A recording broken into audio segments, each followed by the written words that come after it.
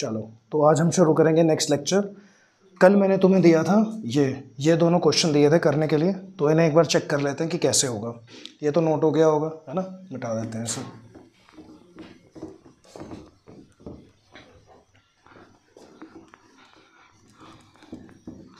पहला क्वेश्चन ये वाला। इसमें हम देखते हैं कि कैसे होगा। कितने कार्बन थे? एक, दो, तीन, चार, पाँच छः सात, आठ, नौ। एक, दो, चार, पाँच छः सात, आठ, नौ। नौ कार्बन। एक, दो, तीन और एक, दो, तीन, चार। पाँचवें पे था एक कार्बन ये, दस कार्बन और फिर इसके ऊपर भी एक कार्बन। एक मिनट, इसको ऐसे बनाते हैं। एक, दो, तीन, चार, पाँच, छः, सात, आठ, नौ। पाँच, छः, सात, आठ, नौ। फिर पाँचवें के ऊपर एक, दो, तीन, चार, पाँच, एक कार्बन। फिर इसके ऊपर एक कार्बन और फिर यहाँ पे था आपके पास कार्बन कार्बन और कार्बन, ठीक? और फिर इसके नीचे था कार्बन कार्बन और ये आ गया कार्बन और ये आ गया कार्बन, ठीक है?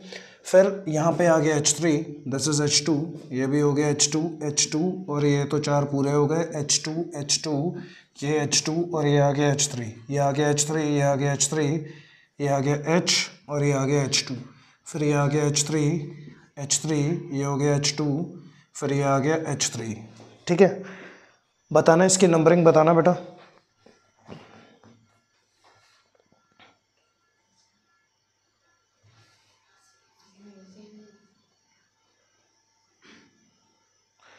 सबसे पहले तो हमें देखना पड़ेगा ना कॉम्प्लेक्स सब्सिट्यूएंट कौन कौन से होंगे इसमें।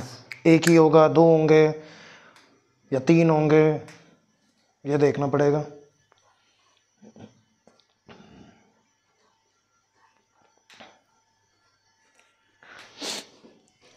बताओ बेटा नंबरिंग बताओ।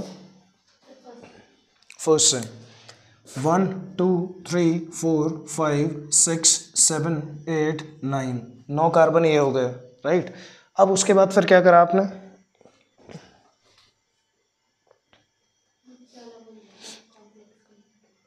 नीचे वाले को कॉम्प्लेक्स सब्सिट्यूएंट मान लिया। ठीक है।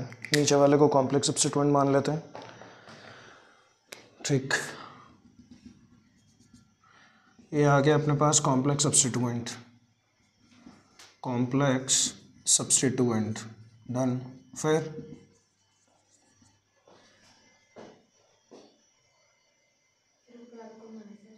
ऊपर वाले को भी माना बहुत बढ़िया। ऊपर वाला भी कह रहा कि भाई साहब, नहीं नहीं, हो सकता है, बिल्कुल हो सकता है। ये भी हो गया कॉम्प्लेक्स सब्सिट्यूएंट मुझे उम्मीद नहीं थी ना कि तुम ढूंढ लोगे, पर चलो, उम्मीद से परे कर दिया तुमने काम। कॉम्प्लेक्स सब्सिट्यूएंट दो होंगे, इसमें बिल्कुल सही है। आगे, अब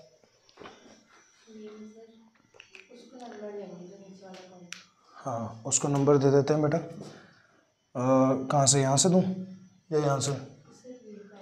यहीं से ना? वन टू थ्री ठीक है। ऊपर वाले में? यहाँ से? हाँ यहीं से ही देते नंबर। वन टू फिर? इधर रिया को सब पता है। रिया। वन टू थ्री बिल्कुल। रिया कह रही, सर, मेरा तो फिक्स है। इधर ही होता है हमेशा। वन टू थ्री ठीक है? चलो फिर, श्रुति बताएगी आगे। यही करा था? बहुत सही करा था फिर। आगे बता बेटा। हाँ बेटा, नहीं नहीं। और क्या बताएगी इसमें?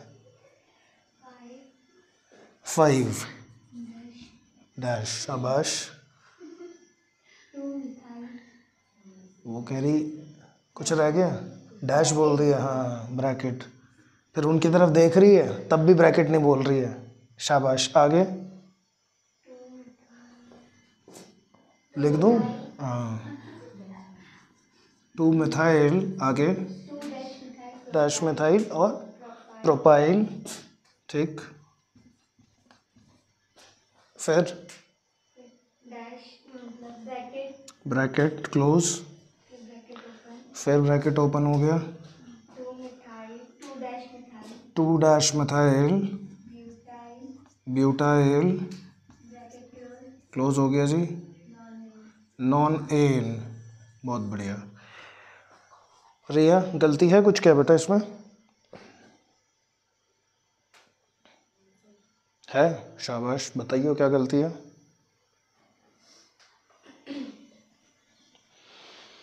सर, है तो पर ये नहीं पता क्या है। कुछ तो है। बता दे रही है। आज तो बता ही दे। हो जाए आज।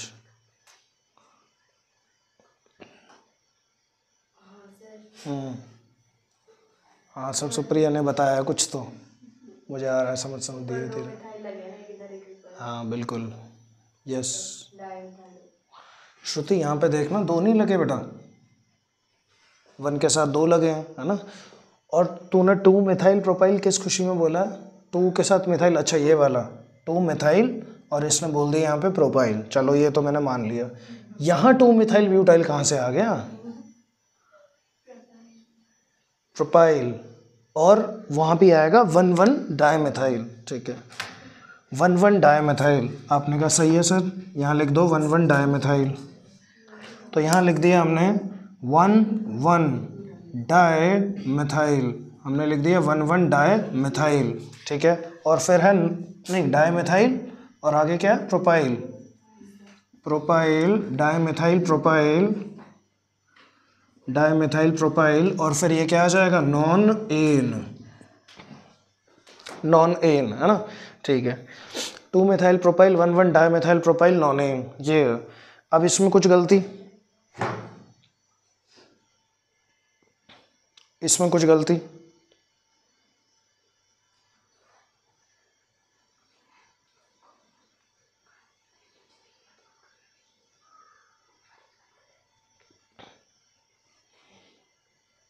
कल कुछ अल्फ़ाबेटिकली वाली बात बताई थी, ये मिटा हुआ नॉट अंडर एम वो डी के अंडर आया था, ऐसा कुछ। तो यहाँ पे क्या होना चाहिए? ये पहले आएगा कि ये पहले आएगा? डायमेथाइल पहले आएगा डी पहले आता है ना? मैंने बोला था अल्फ़ाबेटाइज करोगे आप पहले और फिर इसका नाम लिखोगे। अब देखना नाम कैसे लिखेंगे।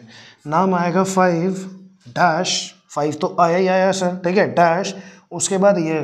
पहले आएगा क्योंकि डी पहले आता। है तो आप बोलोगे फाइव डैश फिर आएगा one comma one one comma one di methyl आपने लिखा ठीक है सर डाई मिथाइल और स्पेस दिया, फिर आ गया propyl di methyl propyl one comma one dash dimethyl propyl और ये एक साथ गैपिंग नहीं होगी। डाई मिथाइल प्रोपाइल ठीक है डाई मिथाइल प्रोपाइल ये आ गया। और फिर जब दो सब्सिट्यूएंट लगे होते हैं तो आपको दोनों की पोजीशन बतानी पड़ेगी। जैसे पाँच और पाँच पे ही लगा है ना तो पाँच पे पहला सब्सिट्यूएंट आपने बता दिया, फिर आप लगाओगे डैश और फिर से लगाओगे फाइव ठीक है?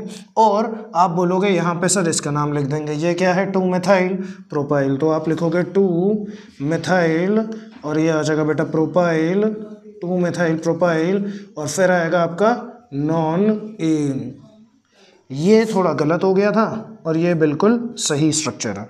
कर लो बेटा ऐसा नोट इसका नाम। आया समझ में? बस ये छोटी सी मिस्टेक थी, बाकी सब सही था। तो यहाँ हम लिख भी देंगे कि the substituent dimethyl is cited first because the substituent dimethyl the substituent dimethyl is cited first is cited first ये इसलिए साइट किया गया है the substituent dimethyl is cited first is cited first ये पहले इसलिए लिखा गया है because it is alphabetize under D because it is alphabetized under D alphabetized under D क्योंकि ये डी के अंडर बेटा अल्फ़ाबेटाइज्ड हो रखा है। Because it is alphabetized under D ठीक है? तो कह रहा है, जो सब्सिट्यूएंट डायमिथाइल है, उसे आपने पहले लिखा क्योंकि it is alphabetize under D ये डी पहले आता है, इसीलिए, और आपने डी पहले ले लिया, क्योंकि भैया, पहले ही आता है। इसी तरीके से, वो जो अगली वाली चेन थी, उसको भी हम देख लेते हैं। उसका क्या नाम होना चाहिए?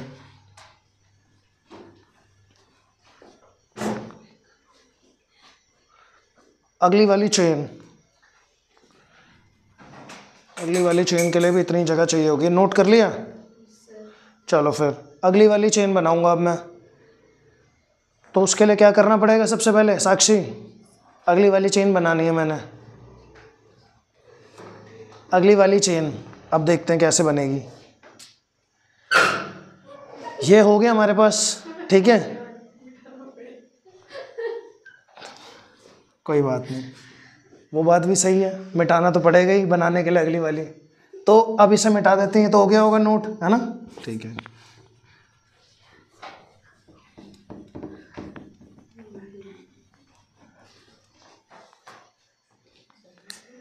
तो आ, हमारे पास था दस कार्बन की एक चेन थी बेटा।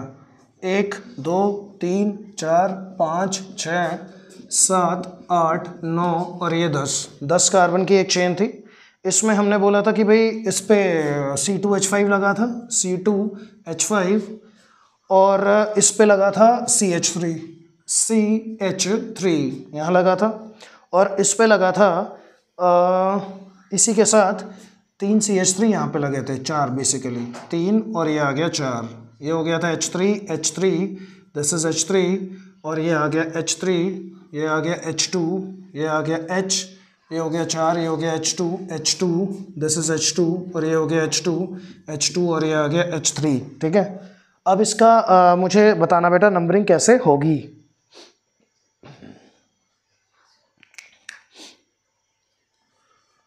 कहाँ से? रिया तेरा तो फेवरेट हो गया सर इधर से करो फटाफट। One two three one two three और आगे बढ़ते हैं। Three four five six seven eight nine और टेन। यहीं से क्यों सोचा बेटा? हाँ एथाइल पे मिल रहा है लोएस्ट नंबर एथाइल पे हमें लोवेस्ट नंबर मिल रहा है उधर से देखोगे तो ऑब्वियस है कि बहुत दूर पड़ जाएगा है ना? तो ये नंबरिंग बिल्कुल सही हो गई। अब मुझे बताओ बेटा कॉम्प्लेक्स सब्सिट्यूएंट कौन सा होगा? नीचे वाला? सर यही देख रहा है हमें तो कॉम्प्लेक्स तो कॉम्प्लेक्स तो यही है। हमें कॉम्प्लेक्स ढूंढना आ गया तो बस काम बन जाएगा हमारा ठीक है? ये है complex substituent complex substituent. Complex substituent आ गया हमारे पास। आपने कहा, ठीक है सर, कॉम्प्लेक्स सब्सटीट्यूएंट आ गया। इसका नाम क्या होगा कॉम्प्लेक्स सब्सटीट्यूएंट का बेटा? फोर डैश मतलब सिर्फ़ इसका, अगर मैं सिर्फ़ इसकी बात करूँ तो। आप बोलोगे, sir one comma one dimethyl ethyl dimethyl ethyl हो जाएगा सर ये। चलो। तो ये तो हमें समझ में आ गया ना। अब इसका नाम लिखें क्या प्रॉपरली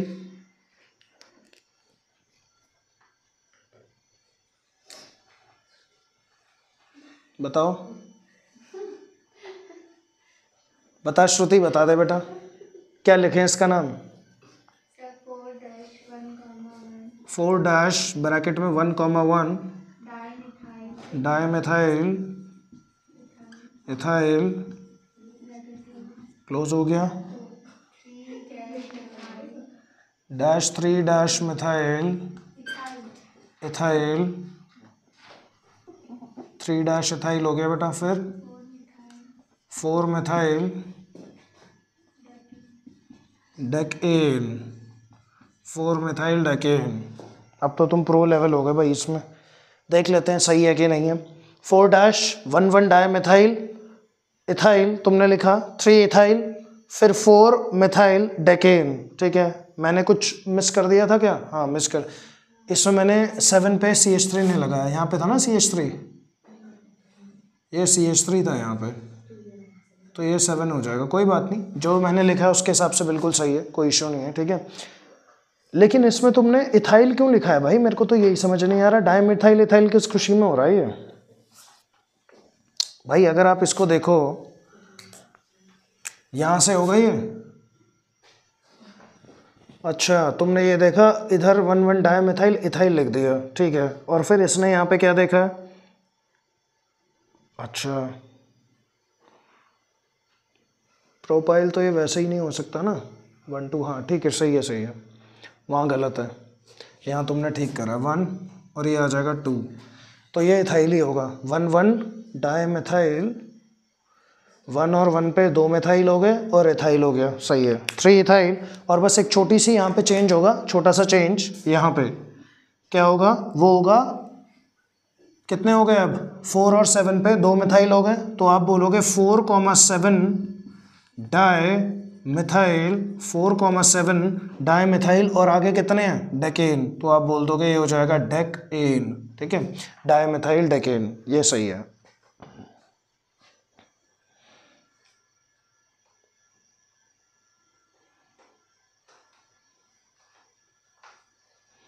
हम्म, हाँ यहीं पे थोड़ी सी इसने गड़बड़ कर रखी है।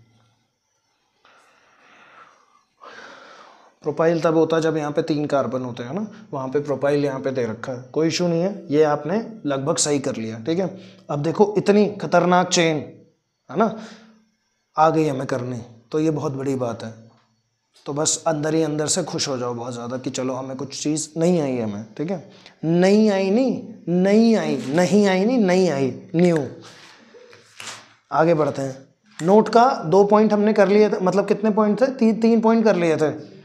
और कुछ अगर इसमें चेंजेस लग रहे हैं तो बता दो मुझे।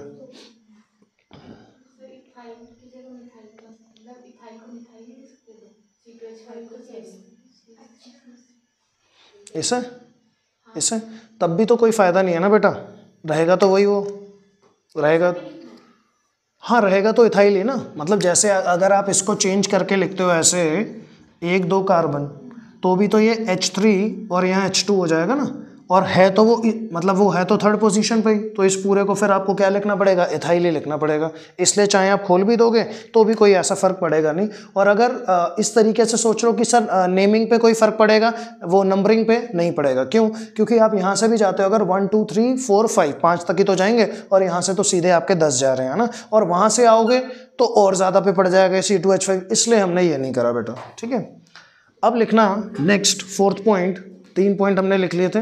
When the names of two or more complex substituents when the names of two or more complex substituents when the names of two or more complex substituents when the names of two or more complex substituents जब जो नाम होंगे, दो या दो या दो से ज़्यादा कॉम्प्लेक्स सब्सिटुएंट्स के are composed of identical words are composed of are composed of identical words are composed of identical words जब वो एक जैसे शब्द से उनके नाम आ रहे हैं are compose of identical words comma priority for citation priority for citation priority for citation यानी जिस चीज़ को आपने पहले लिखना है priority for citation is given to the substituent which has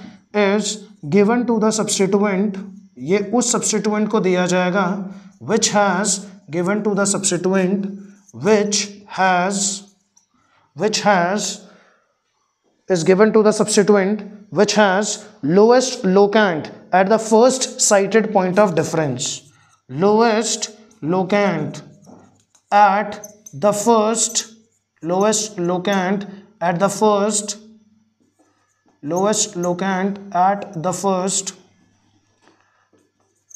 at the first, यानी फ़र्स्ट पॉइंट ऑफ़ डिफरेंस पे जो लोएस्ट लोकेंट होगा। At the first cited point of difference at the first cited point of difference at the first cited point of difference ठीक है? Within the complex substituent within within the complex substituent, ठीक है? Complex substituent के अंदर within the complex substituent lowest locant वो कह रहा है, अगर नाम में दो या दो से ज़्यादा कॉम्प्लेक्स सब्सिटुएंट है are compose of identical words और वो एक ही जैसे शब्द से मिल रहे हैं या आ रहे हैं, लिखा जा रहा है तो प्रायोरिटी उसको दी जाएगी उस सब्सिट्यूएंट को जिसका lowest locant first cited point of difference को बताएगा। एग्ज़ाम्पल देखते हैं कैसे, ठीक है? तो यहाँ हम ले लेते हैं बारह कार्बन की चेन ये तो खतरनाक ही होता जा रहा है, धीरे धीरे। बारह कार्बन की चेन एक, दो, तीन, चार, पाँच छ सात, आठ, नौ, दस, ग्यारह, बारह। एक, दो, तीन, चार, पाँच छः सात, आठ, नौ, दस, ग्यारह, बारह। बारह की चेन हो गई है। और फिर यहाँ से अगर हम देखें तो पाँचवीं पोजीशन पे पाँच, यहाँ से इधर ये कार्बन और इधर ये कार्बन दो आ गए यस और फिर इधर से दो, तीन, चार। चार कार्बन यहाँ आ गए, ठीक है जी।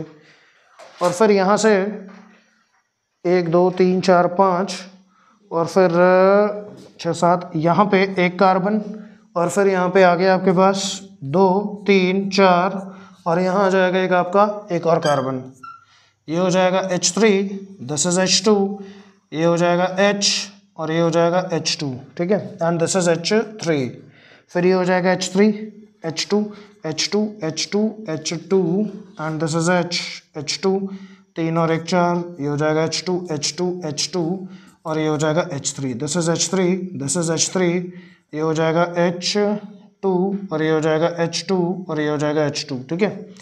ये हो गया। करना, बताना, कैसे होगा, क्या होगा इसमें?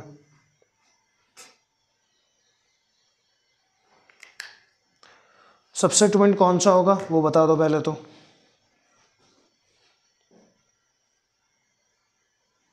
बताना देख के कौन सा होना चाहिए सब्सेटमेंट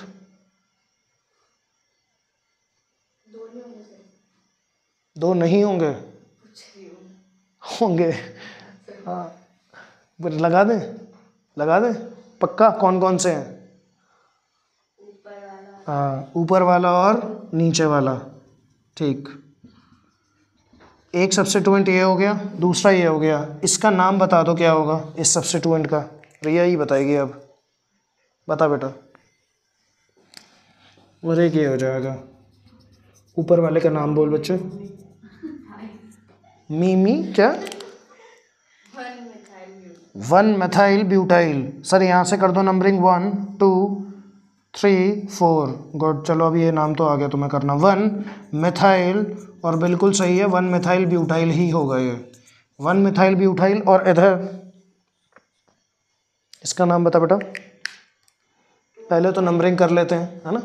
यहाँ से होगी numbering one two three four two ethyl फिर? हाँ टू मेथाइल शाबाश, फिर ब्यूटाइल सर, चार हैं तो वो हो जाएगा ब्यूटाइल अब इसका कंफर्म नाम तो साक्षी बताएगी। बता बेटा, इसका कंफर्म नाम क्या होना चाहिए?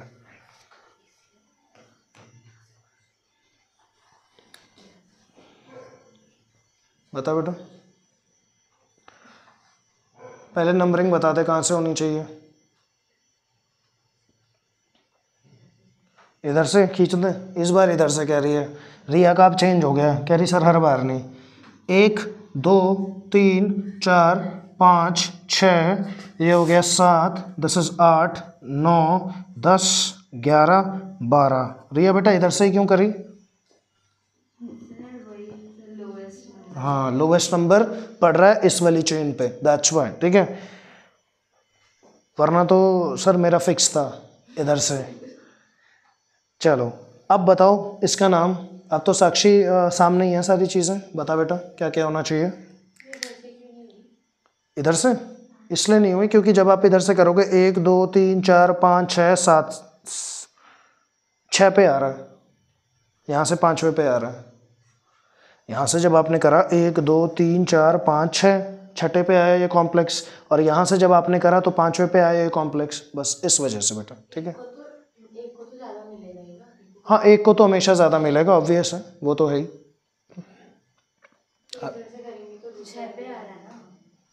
तो इधर से छः पे आएगा ना? इधर से करा तूने तो पहले ही छः पे आ रहा है ना? और उधर से जब मैंने सोचा तो वहाँ पाँच पे आ रहा था। तो जो पाँच वाला है, वो पहले ही आ गया। मतलब कम नंबर पे आ रहा है। अगर बिल्कुल सही कह रही है तो यहाँ से अगर हम छः देखें तो ये छः पे सर ये सात पे चला जाएगा। पर जब हम इधर से देख रहे हैं बेटा तो ये पाँच और वो तो सात पे जा रहा है ना। ऐसे भी तो चेक करना पड़ेगा। तो दोनों तरीके से चेक करना पड़ता है। इसका नाम बता बेटा अब। फाइव डैश आगे। ब्रैकेट डाल के वन मिथाइल कौन सा वाला? वो वाला। One methyl butyl one methyl butyl हाँ जी बेटा, फिर आगे। ब्रैकेट बंद हो जाएगा बेटा, फिर। हाँ डैश करके फिर सेवन फिर। Bracket two dash methyl butyl फिर। अच्छा दो एन कौन लिखेगा? कह रही, बस सर, हो तो गया, इतना कहाँ? तो ज़्यादा लंबा नाम चला गया। तो बिल्कुल सही है, डू डेकेन वो बारह के लिए मैंने बताया था ना दो डेक, दस में दो जोड़ दिए तो दो डेक। सही है, दो डेकेन अच्छा जी। अब यहाँ पे एक चीज़ हम देखेंगे कि जो सब्सटीट्यूएंट है वन मिथाइल ब्यूटाइल उसे पहले क्यों लिखा है बेटा? ये बताओ पहले तो। वन है आगे, बिल्कुल। अभी यहाँ पे बिल्कुल सही बोला इसने, पहली बार सही बोल दिया इसने एकदम ही। यहाँ पे हमने क्या बोला था? Which has the lowest locant at the first cited point of difference within the complex substituent मैंने कहा था, अगर नाम सेम हो जाए, सर यहाँ भी तो नाम सेम हो ही रहा है। मिथाइल भी वो भी छोड़ो ब्यूटाइल को। मिथाइल मिथाइल तो सेम ही हो रहा है। आपने बोला हाँ सर सेम हो रहा है। अब मिथाइल ब्यूटाइल सेम हो रहा है या मिथाइल सेम हो रहा है तो हम देखेंगे नंबर किस वाले का कम है सब्सिट्यूएंट का, उसको हम पहले लिख देंगे। सिंपल तो इसमें लिख लेना the substituent one methyl butyl is written first the substituent the substituent one methyl butyl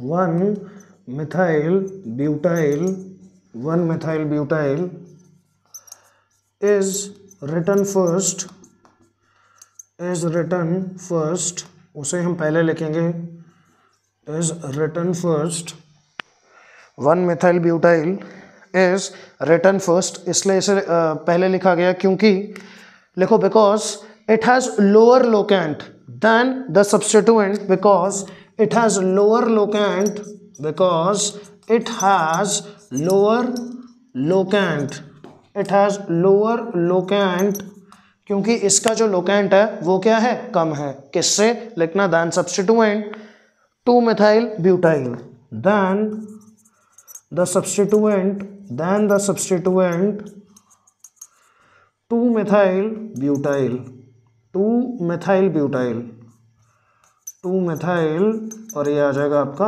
butyl ठीक है? यानी वन पहले आता है। इस वजह से हमने ये लिख दिया बेटा, ठीक है? नोट कर लो। फिर अब हम देखेंगे फोर्थ, वो sorry fifth fifth point fifth में हम ये देखेंगे कि अगर सेम कॉम्प्लेक्स सब्सिट्यूएंट एक से ज़्यादा बार आ जाए तो तब क्या होगा? सेम नोट कर लिया बेटा। मिटा दूँ इसे पूरे को? ठीक है। अब यहाँ पे हम देखते हैं कि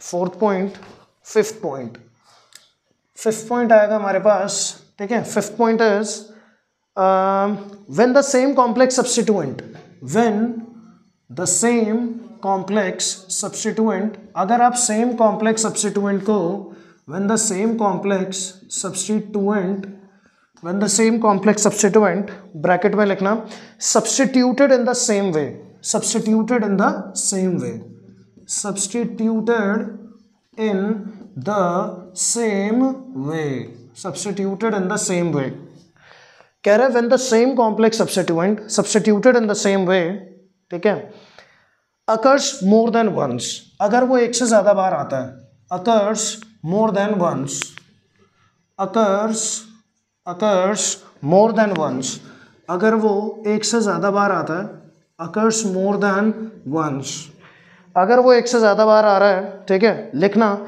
it is indicated by the multiplying prefix it is indicated, it is indicated by the multiplying prefix तो आप उसे ना एक प्रीफिक्स से दिखाओगे मल्टीप्लाइंग प्रीफिक्स ये नाम सुना होगा तुमने कोऑर्डिनेशन में।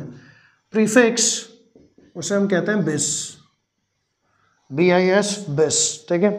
अगर वो ये कह रहा है same complex substituent occurs more than once एक से ज़्यादा बार आ जाए it is indicated by the multiplying prefix bis bis मतलब होता है दो बार लिख दोगे आप, ठीक है? ब्रैकेट में लिखना बिस फॉर टू यानी दो के लिए, दो के लिए आप बिस लिख दोगे। सर तीन के लिए भी कुछ होता है हाँ। तीन के लिए आप लिख दोगे क्या? आप बोलोगे ट्रस लिख सकते हो आप। ट्राई एस लिख सकते हो। चार के लिए? हाँ साक्षी को तो हँसी आ गई। टेट्राकिस टेट्राकिस लिखते हैं उसमें, लेकिन वो डबल एस वाला नहीं सिंगल एस वाला, ठीक है? Bis for two tris for three और जो आपका, ये निब्बो, निब्बा निब्बियों का फेवरेट ट्रिस टेट्राकिस चार बार वो भी। टेट्राकिस फॉर फोर एक सेकंड ट्रिस और टेट्राकिस को हाँ थोड़ा सा स्पेस देके निब्बी कह रही स्पेस दे दे भाई थोड़ा। टेट्राकेस ब्रैकेट में कितने आ गए? फोर फोर फोर फोर अच्छा फिर कैसा होता है बेटा? हाँ ये बात भी तूने सही कही। नहीं एक्चुअली क्या है ना कि शो ऑफ़ करने का उन्हें थोड़ा सा इस एज में रहता है ना थोड़ा वो आ, होता है फैक्टर काम तो सभी करते हैं बेटा ये ऐसा कोई दिक्कत नहीं है। लेकिन फैक्टर वो है कि एज फैक्टर के हिसाब से थोड़ा ज़्यादा वो दिखा देते हैं, इसलिए वो बदनाम होते हैं बेटा। बस बाकी कोई दिक्कत नहीं है। अब एक ज़रा इसमें चेन ले लेते हैं, दस कार्बन आइटम की, और फिर देखते हैं कि इस, ये वाले रूल को कैसे लगाएँगे, ठीक है? ये तो नोट कर लिया था ना? मिटा देते हैं इसे।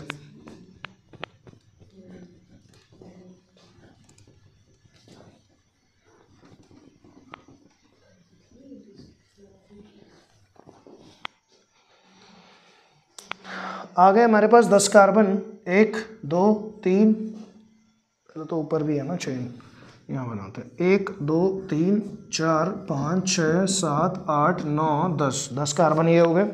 और फिर अपने पास यहाँ से पाँचवें पे, एक, दो, तीन, एक, दो, तीन, चार, पाँच। पाँचवें पे ये आ गया कार्बन और, फिर आ गया यहाँ पे एक कार्बन दो कार्बन तीन कार्बन ये हो गए। और इधर आ गया चौथा कार्बन और इधर फिर एक और कार्बन ठीक है? और फिर इसी के साथ आ, ये आ गया एक कार्बन दो कार्बन और फिर इधर भी दो कार्बन और इधर एक कार्बन। अगर आप देखो तो सेम ही है दोनों। एच थ्री ये हो जाएगा एच थ्री ये हो जाएगा एच टू ये हो जाएगा H three this is H three ये हो जाएगा H two H two this is H two ये भी एच टू ठीक है? नहीं एच हाँ एच टू और ये हो जाएगा H two this is H two ये भी एच टू ये हो जाएगा एच थ्री ठीक है? अच्छा और फिर यहाँ आ जाएगा एच थ्री ये हो जाएगा H three this is H three ये हो जाएगा एच टू और ये हो गया काम अपना, ठीक है? अब इसमें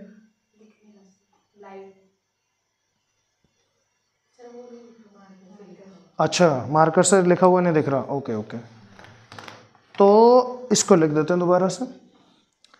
यहाँ पे हमने लिखा सी सी सी इतने सारे सी एक साथ। सी अब क्या करें, यहाँ तो पूरा सारा सी वाला ही है system C H three this is H three बेटा एच टू और ये आ जाएगा आपके पास एच थ्री ये हो गया बेटा एच थ्री ये हो गया H two H two H two and this is H two ये आ गया आपके पास एच टू ये आ गया H two this is H two ये आ गया एच थ्री ये भी आ गया एच थ्री ये आ गया आपके पास एच टू एच थ्री और ये आ गया एच थ्री अब तो दिख रहा है ना परफेक्ट है सब? ठीक है। अब इसमें बेटा, मुझे सबसे पहले तो कॉम्प्लेक्स सब्सिट्यूएंट की बात बताओ ज़रा कौन कौन से होने चाहिए तुम्हारे हिसाब से?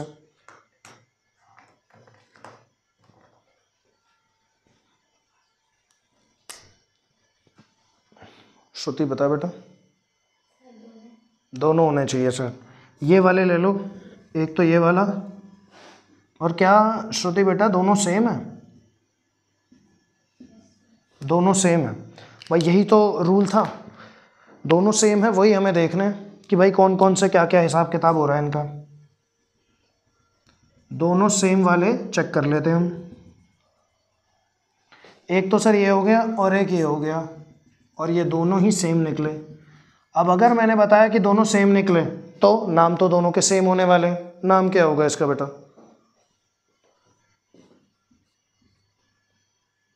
कोई भी बता सकता है, इसका नाम क्या होगा? One comma one dimethyl propyl. ये हो गया। सर, कैसे हुआ? एक, दो तीन। प्रोपाइल तो यही हो गया सर। और इधर दो मेथाइल लगे हैं। सेम गोस फॉर दिस आप बोलोगे वन टू थ्री प्रोपाइल और इसका नाम भी हो जाएगा one one one one di methyl और ये हो जाएगा propyl one one di methyl propyl ठीक है? ये आ गया आपके पास। आपने कहा सही है, सर। अब इसमें कैसे लिखेंगे बेटा इसका नाम? क्या होना चाहिए?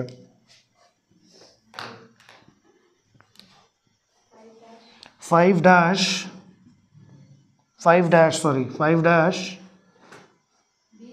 bis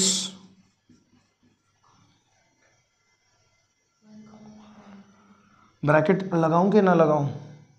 लगेगा। One comma one dimethyl propyl dimethyl propyl ठीक है जी, फिर आगे ब्रैकेट क्लोज कर दिया। आगे क्या आना चाहिए? डेकेन अच्छा और कुछ रह गया था क्या? और कुछ अच्छा एक यहाँ पे ना सी एच थ्री भी लगा लेना। अब बताओ। टू मेथाइल डेकेन तो आप बोलोगे sir two methyl decane two methyl decane अब देखते हैं अगर कुछ इसमें चेंजेस हुए तो है ना? कुछ लगता है चेंजेस होने चाहिए? तुम्हारे हिसाब से। जब हम वन, टू के बाद डाई लगाते हैं, है ना? तो यहाँ आप क्या लिख रहे हो? बिस। बिस का मतलब क्या है? दो सबसे लगे इसका मतलब पोजीशन कितनी बार बताओगे? दो। भाई, पहले वाले में भी तो दो बार पोजीशन बताई थी फाइव और सेवन थ्री और फाइव ऐसे करके कॉम्प्लेक्स सब्सिट्यूएंट की पोजीशन बता रहे थे हम। तो इधर भी एक फाइव थोड़ी आएगा। कितने आएँगे? दो फाइव क्योंकि दोनों पाँच पे लगा है ना। आप बोलोगे, सर, यहाँ से नंबरिंग करो one two three four five six seven eight nine और टेन सर, इधर से नंबरिंग क्यों करी? क्योंकि मेथाइल ग्रुप पास पड़ रहा था यहाँ से, ठीक है? इसलिए। वहाँ से करोगे तो दस पे, नौ पे आ जाएगा। आप बोलोगे, सर, कुछ नहीं है, बस इसको फाइव कॉमा फाइव कर दो और काम बन गया अपना। फाइव कॉमा फाइव बिस में कैपिटल बी लगा देना, क्योंकि ये पहला अल्फ़ाबेट है, शुरुआत में। बिस ये हो जाएगा बिस और फिर ब्रैकेट में one comma one die methyl और ये आ जाएगा प्रोपाइल और फिर डैश टू मेथाइल और डेकेन अब सही है ये। और बिस जो हमने लिखा है, लिख लेना। Bis is use for two same complex substituents bis is use for two same complex substituents अगर दो सेम कॉम्प्लेक्स सब्सटीट्यूएंट्स हैं आपके पास कॉम्प्लेक्स सब्सटीट्यूएंट्स तो बिस उसके लिए आप यूज़ करते हो, ठीक है? Bis is use for two same complex substituents bis is use for two same complex substituents आपने कहा, ठीक है सर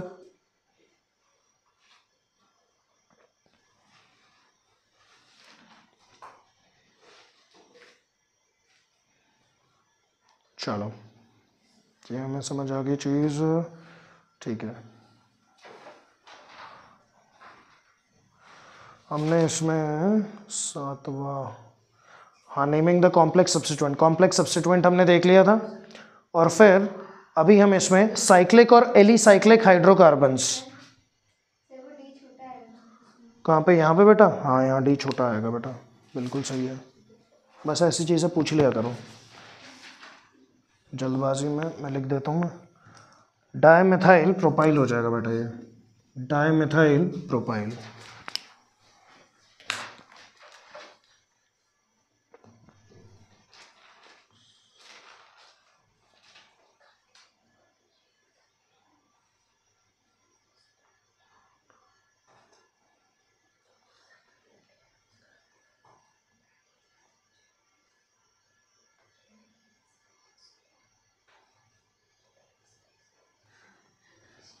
ठीक ये चीज़ हमें समझ में आ गई। अब इसमें लिखना है। अभी एक इसमें हमें एली साइक्लिक वाला वैसे हमने पढ़ाई हुआ है, साइक्लिक और एली साइक्लिक हाइड्रोकार्बन जिसमें आप बंद करते हो स्ट्रक्चर और साइक्लो लिखते हैं ना? इसके बारे में थोड़ा सा हम अभी आगे पढ़ेंगे। क्योंकि जब मैं तुम्हें पढ़ा दूँगा प्रायोरिटी अभी प्रायोरिटी भी तो देख रही है इतने सारे फंक्शनल ग्रुप पढ़े हैं अगर मान लो दो से ज़्यादा फंक्शनल ग्रुप लग जाएँ किसी पे तब आप कौन सा प्रायोरिटी मतलब पहले कौन आता है? तो फिर उसे भी अभी हम देखेंगे। उससे पहले यहाँ पे लिखना एक चीज़ जो हमने सीखी फटाफट। मैं यहाँ पे नाम लिखूँगा तुम बताना कि आ, क्या नाम होगा उसका ठीक है? ये हमने पढ़ रखा है ऑलरेडी ये हो गया नोट बता दूँ? ठीक है। देखते हैं कितना तुम्हें याद है। सबसे पहला, यहाँ पे कि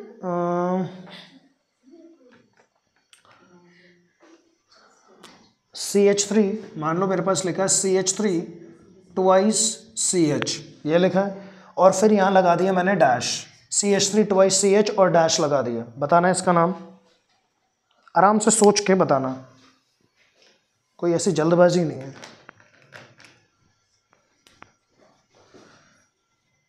फिर यहाँ लिख दिया मैंने C H three C H two वही तो पूछ रहा हूँ। सी एच और ये आ जाएगा सी एच थ्री क्या है ये? यही तो मैं भी पूछ रहा हूँ।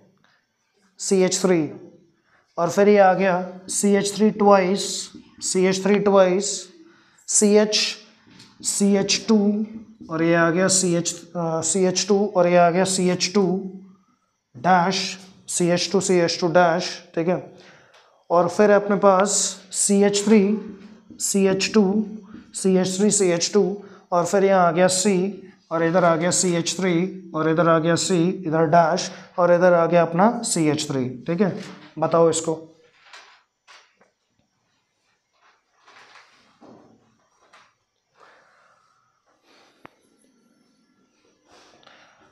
C H three twice C H three twice C H C H two ये हो गया C H three thrice C C H three thrice C C H three thrice C C H two C H three thrice C और ये आ गया C H two C H three thrice C C H two फिर C H three twice C H C H two C H two C H C H three twice C H three twice C H C H two C H two C H C H two C H two C H C H two C H two और ये आ गया अपने पास C H C H three twice C H C H two C H two और ये आ गया C H बताओ पहले वाला क्या होना चाहिए बेटा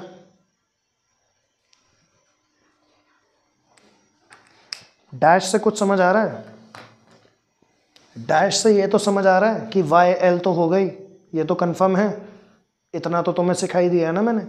अब ये क्या होना चाहिए, सोचो। जब मैंने बताया था सी एस टी दो हैं तो उसे आप कैसे खोल के लिखोगे? क्या आपके माइंड में स्ट्रक्चर आ रहा है? क्या लिखोगे? उस तरीके से सोचो इसे। पहला वाला मैं तुम्हें एक बार खोल के बता देता हूँ कैसे सोचना चाहिए।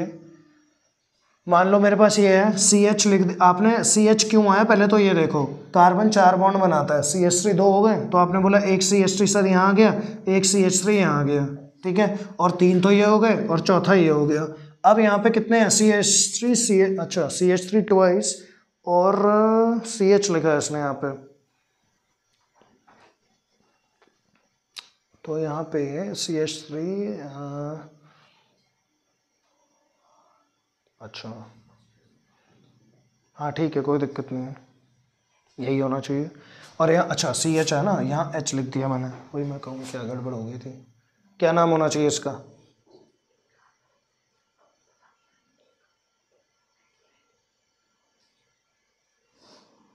कितने कार्बन? तीन। तीन को क्या बोलते हैं?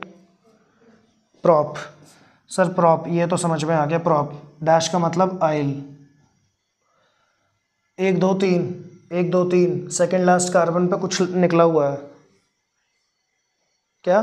आइसो तो इसका नाम क्या होगा? आइसो प्रोपाइल कोई कभी आपको ऐसे लिख के दे देना बेवकूफ़ बनाने के लिए। कुछ नहीं बेवकूफ़ बनना आइसो प्रोपाइल ऐसे लग के डायरेक्ट आता है चेन में। ऐसे लग के डायरेक्ट आएगा चेन में। आपको ये पता है, आपके माइंड में है तो ठीक है। नहीं है तो आप खोल के भी लिख सकते हो, कोई ऐसा इशू नहीं है, ठीक है? तो इसका नाम लिख लो iso propyl iso iso propyl है इसका नाम आइसो प्रोपाइल बस अब हिंट दे दिया, अब शुरू हो जाओ।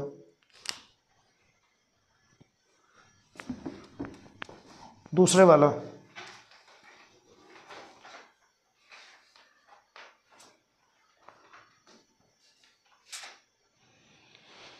दूसरे वाला बताइए, क्या होना चाहिए? टोटल कार्बन चार को क्या बोलते हैं? ब्यूट यानी कि सर ब्यूटाइल तो आएगा ही। वो तो कंफर्म हो गया। क्योंकि डैश है, इसलिए सर वाई एल ब्यूटाइल फिर आगे।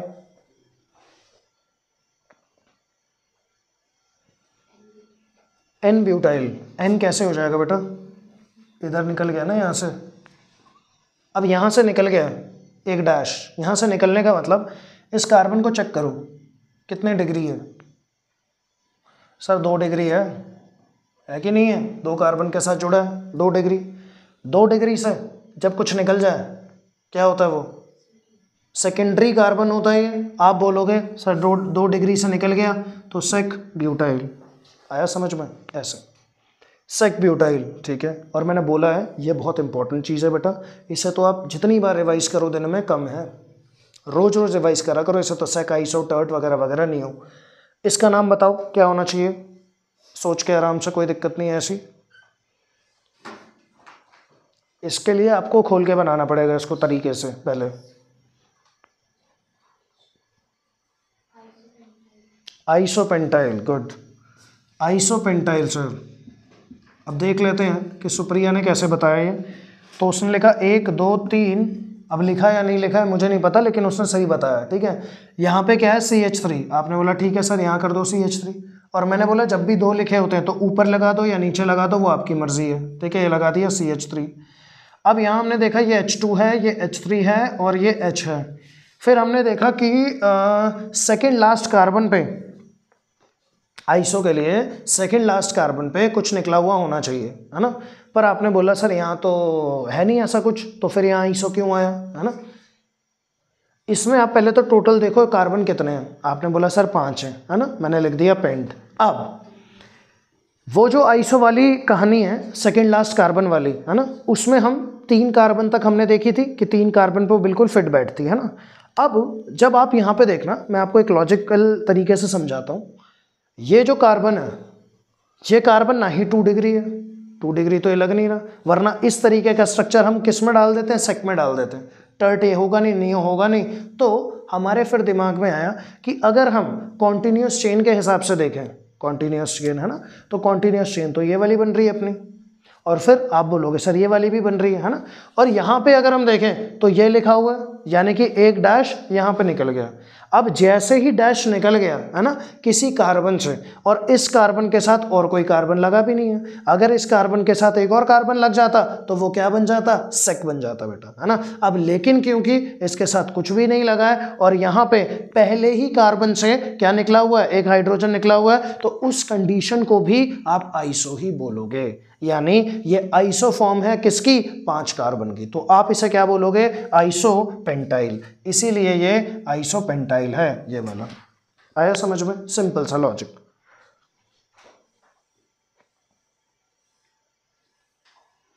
अगला वाला बताना बच्चों, ये वाला।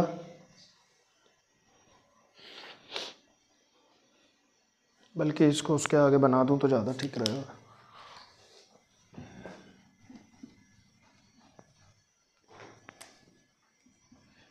अगला वाला बताओ। तीन कार्बन और यह आ जाएगा सी एच थ्री एक यहाँ लगा देते हैं। एक यहाँ लगा देते हैं सी एच थ्री यहाँ आ जाएगा एच एच थ्री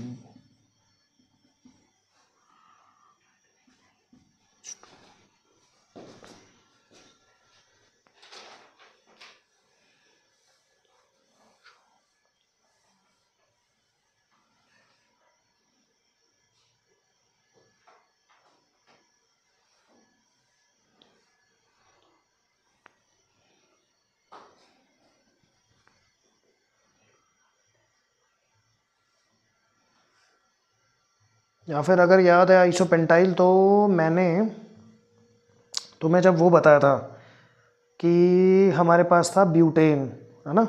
और उस ब्यूटेन में से हमने चार स्ट्रक्चर निकाले थे। N butyl sec butyl isobutyl और टर्ड ब्यूटाइल है ना? इसी तरीके से पेंटाइल भी निकलता है, ठीक है? पेंटेन वाले स्ट्रक्चर से आइसोपेंटेन से।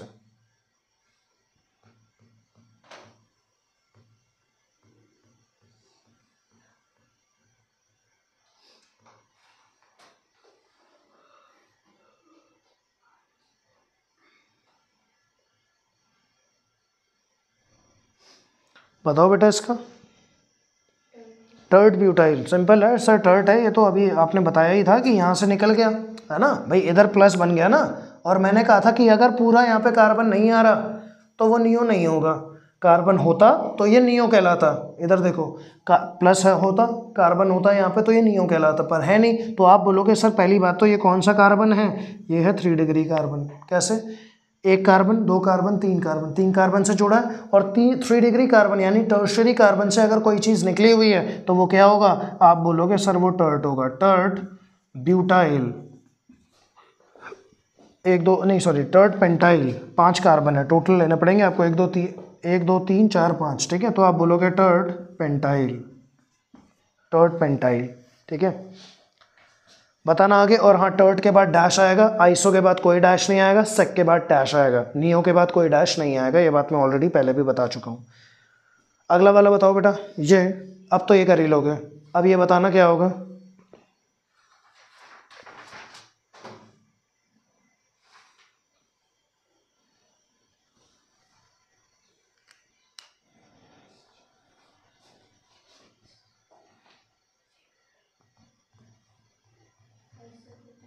आइसोब्यूटाइल गुड आइसोब्यूटाइल और ये मैंने उसी टाइम तुम्हें बता दिया था कि जब हम जो हमारे पास था, क्या कहते हैं, प्रोपेन। प्रोपेन से हमारे दो रेडिकल निकले थे एन प्रोपाइल और आइसोप्रोपाइल और जो हमारा ब्यूटेन था ब्यूटेन से हमारे निकले थे एन ब्यूटाइल और सेक ब्यूटाइल और ब्यूटेन का ही जब आप आइसो ब्यूटेन के केस में निकाल रहे थे तो आइसो ब्यूटाइल और टर्ड ब्यूटाइल निकल रहा था, ठीक है? और आइसो ब्यूटाइल और टर्ड ब्यूटाइल कब बन रहा था? जब मैंने बताया था तुम्हें कि ये, इसमें से आइसोब्यूटेन में से जब आप वन डिग्री हटा देते हो वन डिग्री हाइड्रोजन हटा देते हो तो क्या बन जाता है? आइसोब्यूटाइल बन जाता है, ठीक है? ये चीज़ है। आपने कहा, ठीक है सर, बढ़िया।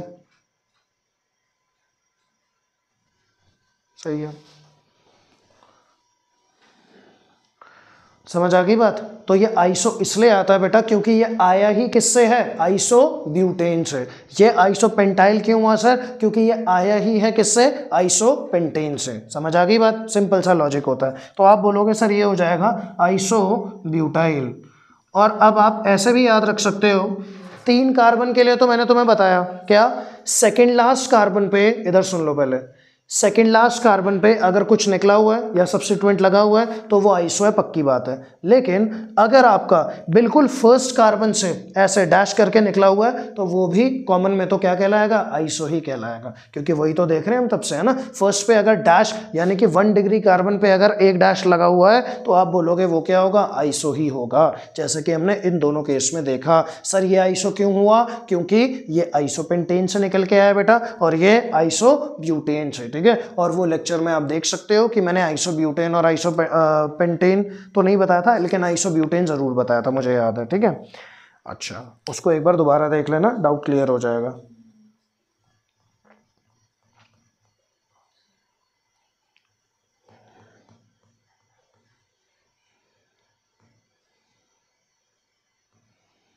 हम्म, एक बार बता भी देता हूँ यहाँ पे।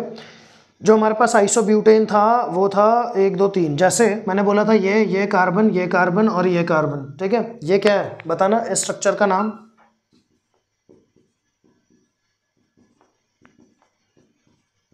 इस स्ट्रक्चर का नाम बता दो जरा। तीन कार्बन चार कार्बन सेकेंड लास्ट कार्बन एक, दो, तीन। एक, दो, तीन सेकेंड लास्ट कार्बन पे क्या लगा हुआ है? सी एच थ्री आपने बोला, सर, इसका नाम तो आइसोब्यूटेन है। ठीक है जी। मैंने तुम्हें बताया था आइसोब्यूटेन है? ये रहा आइसोब्यूटेन अगर मैं आइसोब्यूटेन से, मैंने कहा था दो तरीके होते हैं। अगर आप वन डिग्री हाइड्रोजन निकाल दो और अगर आप थ्री डिग्री हाइड्रोजन निकाल दो। सर थ्री डिग्री हाइड्रोजन तो एक ही है। यही है। थ्री डिग्री हाइड्रोजन मतलब थ्री डिग्री कार्बन के साथ जो लगा है। वन डिग्री हाइड्रोजन मतलब ये वन डिग्री ये वन डिग्री ये वन डिग्री किसी में से भी एक हाइड्रोजन आप निकाल दो तो आपका क्या बन जाएगा? आइसो ब्यूटाइल बन जाएगा। आई बात समझ में? और अगर आप थ्री डिग्री निकालोगे तो क्या बनेगा? टर्ट ब्यूटाइल क्योंकि भैया, आप यहाँ पे देखो ना, आपने जैसे ही एच निकाल दिया तो मैंने अभी बताया टर्ट वाली कंडीशन यहाँ पे एक मिथाइल ग्रुप यहाँ पे एक मिथाइल ग्रुप और इधर क्या लग गया? मिथाइल हो सकता है इथाइल हो सकता है, कोई फ़र्क नहीं पड़ता। इसलिए यहाँ पे, अब जैसे ही मैंने एक हाइड्रोजन हटाया, मान लेते हैं रिया मैं हाइड्रोजन हटा देता हूँ बेटा ये वाला। कौन सा वाला अपना? कोई सा भी हटा दो लेकिन वन डिग्री से हटाएँगे। इस वाले से हटा दिया।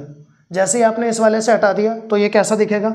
आप बोलोगे, सर, ये आ गया, ये आ गया और ये आ गया। अब यहाँ से आपने एक हाइड्रोजन हटा दिया तो ये डैश हो के एच टू हो गया। क्योंकि एक हाइड्रोजन हटा दिया ना इसमें से एच टू हो गया। यहाँ तो एक एच था ही, यहाँ पे एच थ्री था ही, और यहाँ पे क्या है? यहाँ पे भी एच थ्री है ना? तो जैसे ही आपने देखो, एक हटाया तो बना किससे? है आइसोब्यूटेन से। तो नाम क्या होगा? आइसोब्यूटाइल ही तो होगा, क्योंकि आइस ब्यूटेन में से जब आप एक एन में से हाइड्रोजन हटाते हो तो क्या बनता है? आइल ग्रुप बनता है कि नहीं बनता है? तो आप बोलोगे, इसीलिए सर, इसका नाम है आइसो ब्यूटाइल ये तो ये जो आपने लिखा ना आइसो ब्यूटाइल ये यहाँ से आया।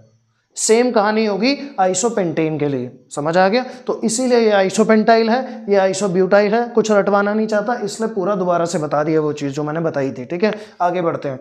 इसका नाम बताओ, ये तो बहुत ईजी है। टर्ट ब्यूटाइल ये तो सर अभी आपने बताया कि अगर आप इसमें से एक एच निकाल दोगे तो वो कैसा दिखेगा? ऐसा ही दिखेगा। इस सी एच थ्री को हम लिखेंगे तो ये आ जाएगा सर टर्ट टर्ट कितने कार्बन? चार कार्बन तो ये हो जाएगा टर्ट ब्यूटाइल। और ये कैसा दिखेगा लिखने में? आप बोलोगे, सर, ये ऐसा दिखेगा। कार्बन लिखो, एक कार्बन ये रहा, एक कार्बन ये रहा, एक कार्बन ये रहा, और ये देखो डैश। ये आगे H three this is H three और ये भी आगे एच थ्री इधर देखना ज़रा। इधर इधर इधर। ये मैंने तीन लिख दिए, देखो ये रहा। अभी मैंने क्या बताया था? अगर आप इसमें से एक एच हटा दोगे, जैसे कि यहाँ तो चलो, ये तो आइसो हो गया। इसमें से जैसे मैंने एक एच हटाया तो ये ऐसा ही दिख रहा है? देख लो। जैसे एक एच हटाया ये डिट्टो ऐसा ही दिख रहा है। तो यानी आइसोब्यूटेन से आप क्या क्या निकाल सकते हो? आप निकाल सकते हो आइसोब्यूटाइल और टर्ड ब्यूटाइल साथ ही साथ में, ठीक है? तो ये आ गया हमारे पास। चलो जी, ये बात हमें समझ में आ गई। और सॉरी यहाँ से निकाल रहा था मैं थ्री डिग्री से। अगर आप थ्री डिग्री से निकालोगे तो वो क्या बन जाएगा? टर्ड ब्यूटाइल बन जाएगा सिंपल ठीक है? ऐसे ही आगे बताओ अब। अब वो हो जाएगा तुमसे। इसका नाम बताओ। नियो पेंटाइल शाबाश नियोपेंटाइल हो गया अपने पास हाँ। ये वाला अपना नियोपेंटाइल आप बोलोगे, सर, पाँच कार्बन तो नियो, सर, नियो क्यों? फिर वही, यहाँ पे एक, दो, तीन, चार करके आ जाएगा पाँच, है ना? अब नियो कैसे आ गया, सर? नियो ऐसे आ गया बेटा। ये कार्बन ये कार्बन प्लस बन गया। प्लस बनता ही यहाँ डैश है, उससे कोई मतलब नहीं हमें। तो आप बोलोगे, इसको मैं ऐसे लिख देता हूँ। ये हो गया नियोपेंटाइल और यहाँ पे हम बना के लिख देते हैं तो ये कैसे होगा? ये कार्बन एक कार्बन दो कार्बन तीन कार्बन यहाँ लग गए एच थ्री वाले, ये रहा H three H three H three और एक कार्बन आपने यहाँ लगा दिया और यहाँ लगा दिया डैश तो ये आ गया नियो पेंटाइल नियो पेंटेन होता, अगर डैश ना होता नियो पेंटेन से आपने क्या कर दिया? एक डैश निकाल दिया तो क्या आ गया? नियो पेंटाइल अगला वाला बता दो बेटा। अगला वाला। अभी डायरेक्ट एक शॉर्टकट दिया था इसके लिए। सुप्रिया, क्या शॉर्टकट था वो बेटा?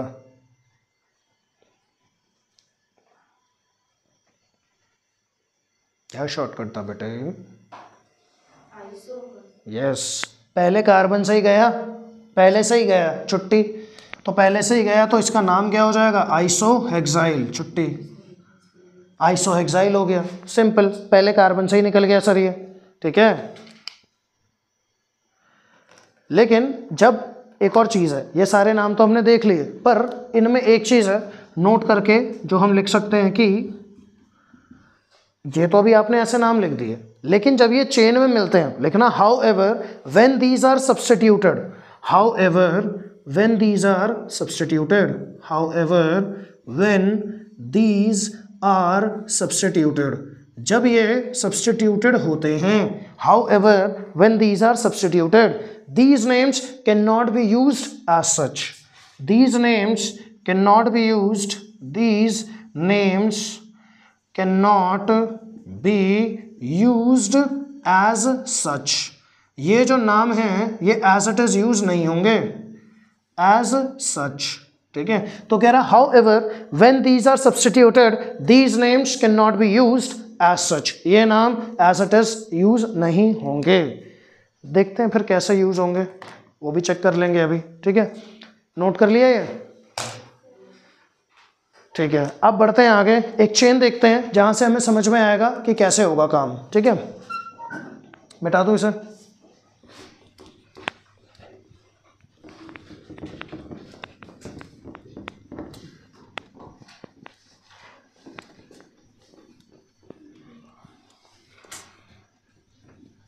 ठीक।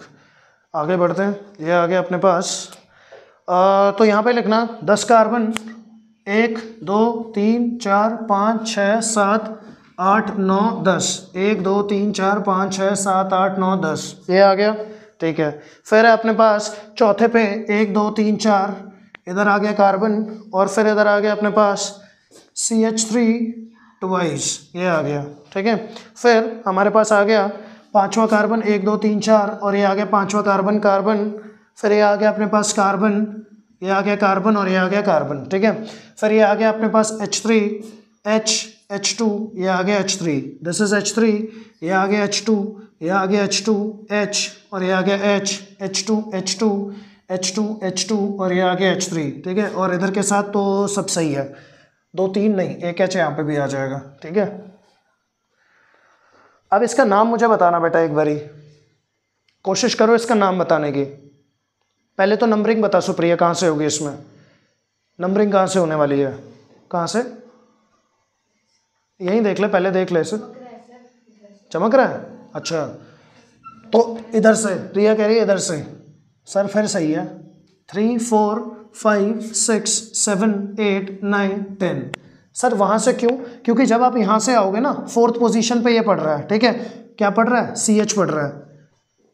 और सी एच के साथ क्या है? सी एच थ्री टोइस मतलब फोर्थ पोजीशन पे एक सब्सिट्यूएंट पढ़ रहा है। वहाँ से आओगे, एक, दो, तीन, चार, पाँच छठे पे पड़ेगा तो ऑब्वियस चौथे वाला क्या है? ज़्यादा कम है। तो इसी वजह से हमने ये लिख दिया। अब मुझे ये बताओ कि इसका नाम क्या होगा? रिया, नाम बता बेटा।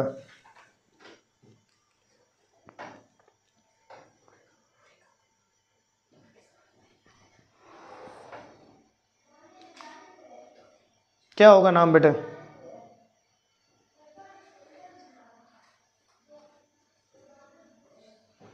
फिफ्थ पे क्या लगा है? ये क्या होता है?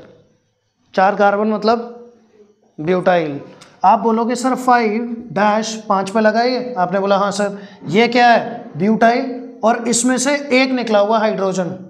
जब ब्यूटेन ब्यू, ब्यूटेन में से एक निकल गया तो क्या हुआ? ब्यूटाइल। और कौन सी पोजीशन से? कौन सा कार्बन है ये? फ़र्स्ट नहीं टू डिग्री वहाँ से निकला हुआ है, यहाँ से देखो ना ये क्या है? टू डिग्री तो आप बोलोगे फाइव सेक ब्यूटाइल अभी बताया था ना मैंने कि ये एज इट इज़ नहीं यूज़ होंगे, ये जब साइड चेन में लगेंगे तो कैसे यूज़ होंगे, वो मैं समझा रहा हूँ, ठीक है? फाइव सेक ब्यूटाइल आपने कहा, ठीक है सर अब ये याद रखना, ये कोई कॉम्प्लेक्स नहीं है। कॉम्प्लेक्स होता तो मैं ऐसे जो आप नाम देते हो, क्या? यहाँ बोलते one two three one methyl propyl तब देता जब ये कॉम्प्लेक्स होता।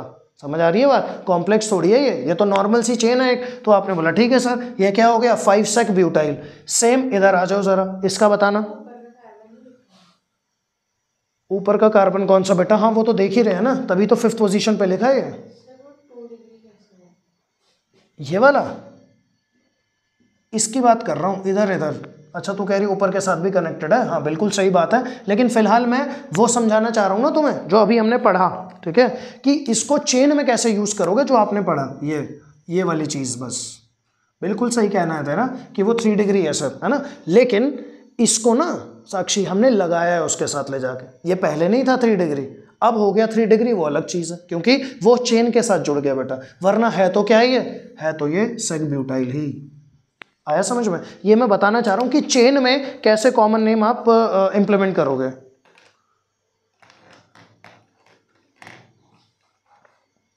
सेक ब्यूटाइल और फिर चौथे पे क्या लगा? है फोर चौथे पे? ये क्या है? सी एस थ्री कैसे लिखोगे? इधर इधर या इधर ऊपर? और यहाँ देखो second last carbon second last carbon से निकला हुआ है। तो आप बोलोगे, क्या होगा? Four iso propyl iso propyl और टोटल कितने हैं? डेकेन अब आया समझ में? ये है कहानी इसकी। Isopropyl decane four isopropyl decane समझ में आ गया? ये चीज़ है। इस तरीके से से करते हैं। दो चेन और ले लेते हैं। ये घर से करके लाना। आठ, एक एक, दो, तीन, चार, पाँच, छः, सात, आठ। आठ कार्बन ये हो गए और इधर भी ले लेते हैं आठ कार्बन।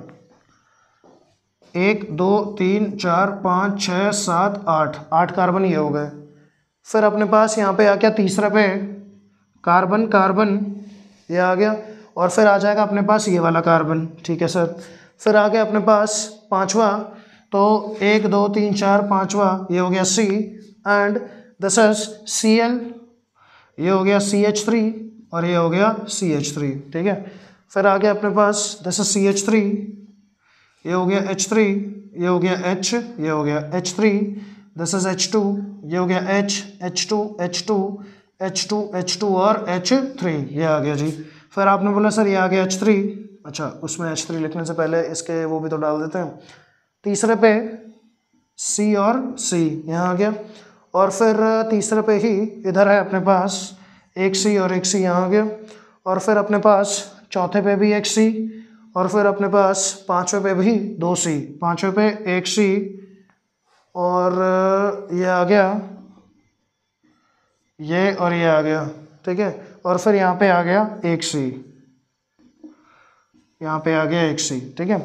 इधर कर दोगे आप सी एच थ्री ये आ गया C H three C H two C H C H three C H three ये भी हो गया एच थ्री एच टू और कहीं तो नहीं लगा? और कहीं नहीं लगा।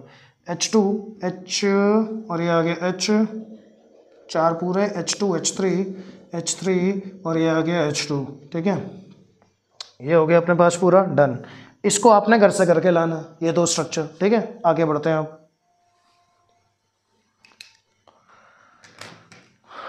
आगे जब हम बढ़ेंगे तो इसमें हम एक चीज़ नोट करके लिखने वाले हैं, ठीक है? नोट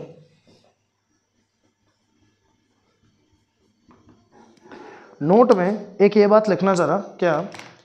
कि while writing the substituents name in alphabetical order while writing the substituents name in alphabetical order while writing the substituents name substituents name in alphabetical order जब आप सब्सटीट्यूएंट का नाम अल्फ़ाबेटिकल ऑर्डर में लिखोगे। अल्फ़ाबेटिकल ऑर्डर अल्फ़ाबेटिकल ऑर्डर में लिखोगे alphabetical order, ठीक है? जब आप ऐसा करने वाले हो तो लिखना नॉन हाइफनेटेड प्रीफिक्स जैसे आइसो और neo. Non hyphenated prefix hyphenated prefix, याद है ना? नॉन हाइफनेटेड मतलब आइसो के साथ डैश नहीं आता, है ना? और किसके साथ डैश नहीं आता है? नियो के साथ डैश नहीं आता है। किस किस के साथ आता है? सेक के साथ आता है टर्ट के साथ आता है। तो कह रहा है कि जब आप अल्फ़ाबेटिकल ऑर्डर में ये लिखते हो सब्सटीट्यूएंट के नाम तो जो नॉन हाइफनेटेड प्रीफिक्स है ब्रैकेट में लिखना नॉन हाइफनेटेड प्रीफिक्सेस जैसे कि आइसो और नियो आइसो और नियो। आपने कहा, ठीक है सर, क्या करना है सर फिर इनका? तो जब भी आपके पास आइसो और नियो आ जाए, आप बोलोगे मतलब नॉन हाइफनेटेड प्रीफिक्स आ जाए तो आप बोलना are considered part of the alkyl group are considered are considered part of the alkyl group ये एल्काइल ग्रुप का पार्ट कंसीडर होंगे। Are considered are considered part of the alkyl group इन्हें आप alkyl group का part बोलोगे? For alphabetizing purposes for alphabetizing purposes for alphabetizing betizing purposes ठीक है? For alpha बेटाइजिंग purposes ठीक है? यानी अल्फाबेटाइजेशन के लिए, आप क्या करने वाले नॉन हाइफनेटेड प्रीफिक्स को एल्काइल ग्रुप का पार्ट मान लोगे। जैसे आइसो हो गया या नियो हो गया। इन्हें आप एल्काइल ग्रुप का पार्ट मान मान लोगे। लिखना but but the hyphenated prefix जो हाइफनेटेड प्रीफिक्सेस है, जैसे but the hyphenated prefixes the hyphenated hyphenated hyphenated prefixes जैसे कि हाइफनेटेड प्रीफिक्सेस ब्रैकेट में सेक हो गया और टर्ट हो गया। ठीक है? इस तरीके के जो हैं सेक और टर्ट ठीक? इसमें लिखना आर नॉट इन्हें आप नहीं करोगे अल्फ़ाबेटाइज सॉरी नहीं करोगे एल्काइल ग्रुप के साथ नहीं लोगे लोगे। ठीक है? जैसे एग्ज़ाम्पल के लिए हम लिखते हैं फॉर एग्ज़ाम्पल जैसे एग्ज़ाम्पल हो गया हमारा isopropyl example isopropyl and isobutyl isopropyl और आइसोब्यूटाइल क्योंकि ये जो, ये क्या है? विदाउट हाइफनेटेड है ना? नॉन हाइफनेटेड प्रीफिक्सेस तो कह रहा आइसोप्रोपाइल और आइसोब्यूटाइल ठीक है?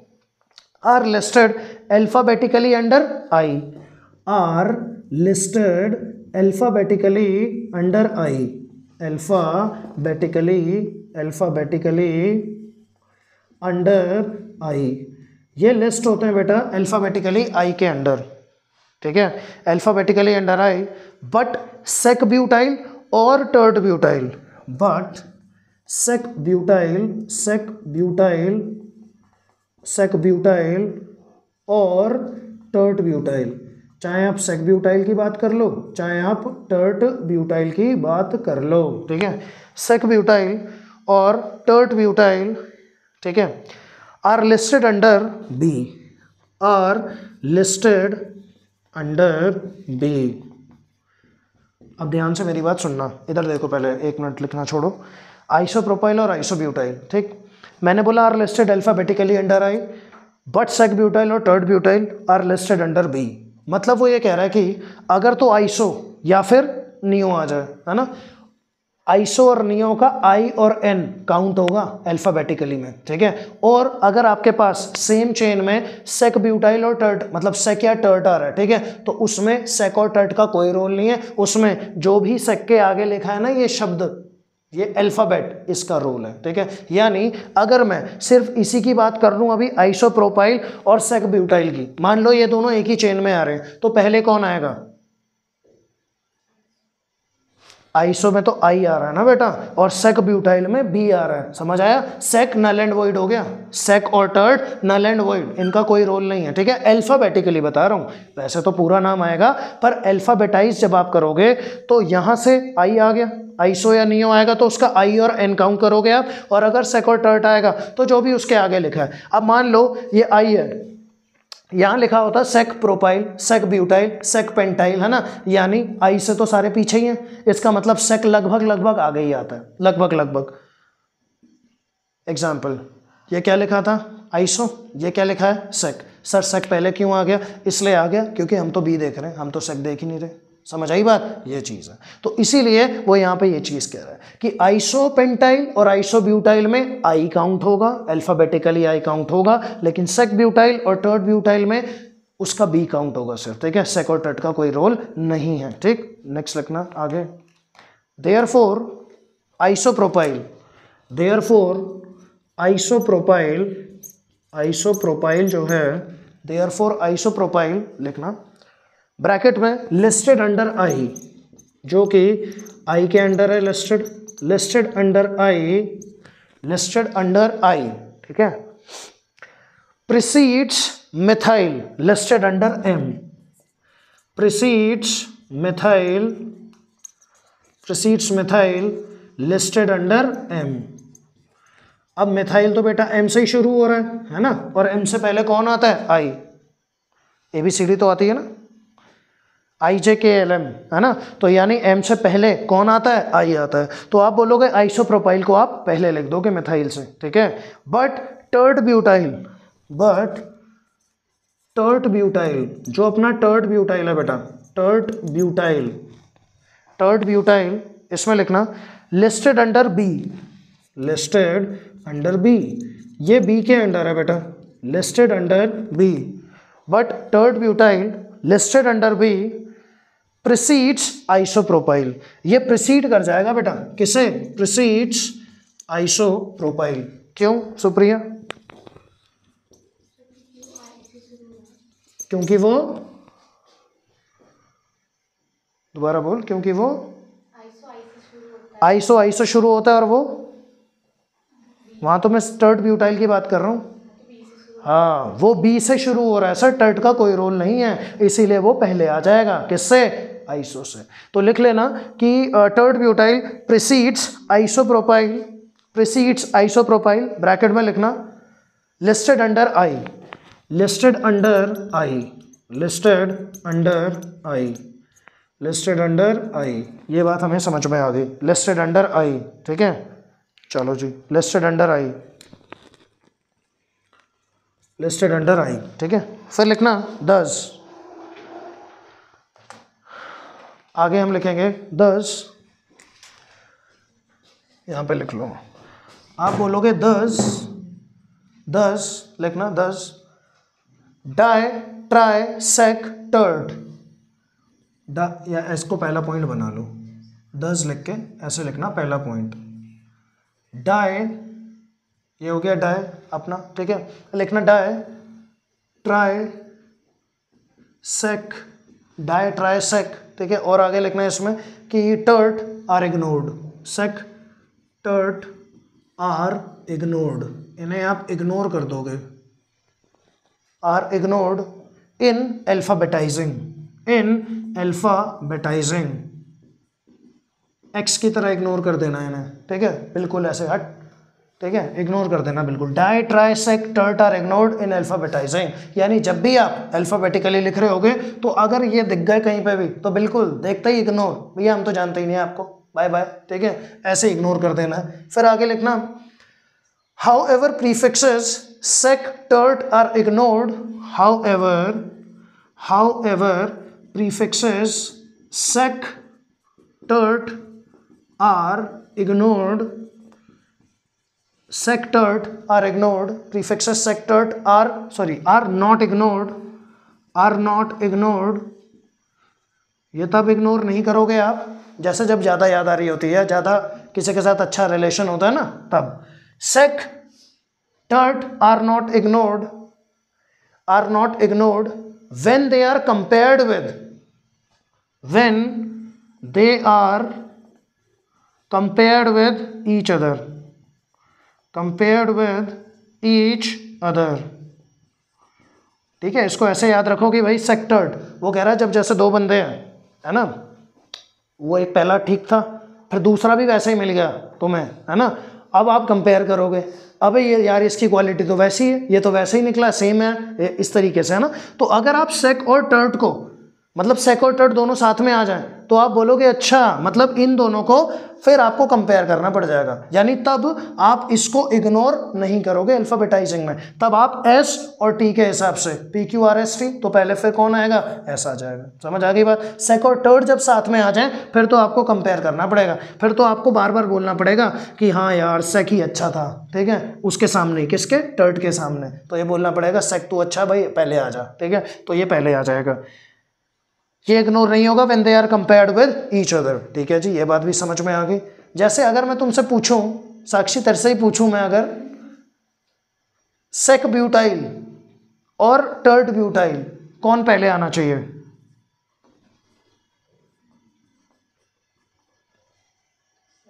सेक आएगा सर क्योंकि सेक ही अच्छा है sir sec butyl proceeds over tert butyl sec butyl proceeds over tert butyl ये तब की कहानी है जब सेक और टर्ट दोनों ही आ जाए, ठीक है? सेक ब्यूटाइल प्रोसीड्स ओवर या प्रोसीड्स टर्ट ब्यूटाइल ऐसे भी लिख सकते हो। Proceeds tert butyl tert butyl ये आपने प्रोसीड करवा दिया ऐसे, ठीक है सर फिर लिखना आइसोनियोसाइक्लो दूसरा iso neo cyclo, isoneo cyclo लिखना are not ignored are not ignored are not ignored in alphabetizing are not ignored in alphabetizing यानी एल्फा बेटाइजिंग में ये इग्नोर नहीं होते एल्फा बेटाइजिंग इन्हें आप चाह के भी इग्नोर नहीं कर सकते। आइसो और नियो को, ठीक है? आइसो नियो और साइक्लो भी in fact are not ignored in alphabetizing और आप खुद सोचो साइक्लो में तो हमेशा साइक्लो तो हमेशा ही आगे आएगा, है ना? तो वो चीज़ आपको पता होनी चाहिए, ठीक है? नोट कर लो ऐसे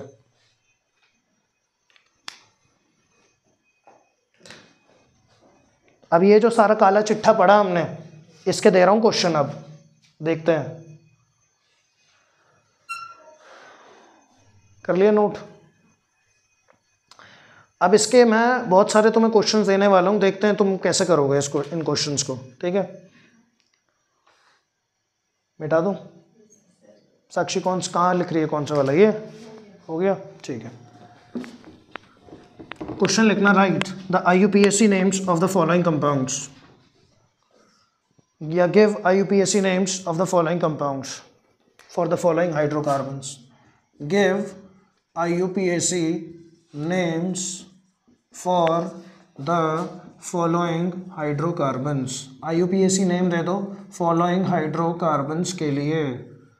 ठीक है जी सर दे देते हैं। Give I names for the following hydrocarbons ठीक है? पहला ए ये है हमारे पास एक, दो, तीन, चार चार कार्बन एक, दो, तीन, चार चार कार्बन हो गए। फिर हमारे पास यहाँ पे सी टू एच फाइव और ये आ गया सी टू एच फाइव ठीक? ये हो गया एच थ्री ये हो गया एच ये हो गया एच और ये हो गया एच थ्री बी पार्ट फिर आ गया अपने पास सी एच थ्री एक कार्बन दो कार्बन तीन कार्बन और फिर यहाँ पे आ गया चार कार्बन चार कार्बन ये रहे और फिर आ गया अपने पास इसी के साथ तीन कार्बन एक, दो, तीन, ठीक है? और फिर इसी के साथ आगे तीन, आगे दो आगे दो और इधर भी दो, ये आ गए और फिर इसके साथ एक कार्बन इधर, ये आ गया, ठीक है? फिर तीसरा आ जाएगा आपके पास सी वाला। इसको हटा देते हैं। सी वाला लिखना ज़रा।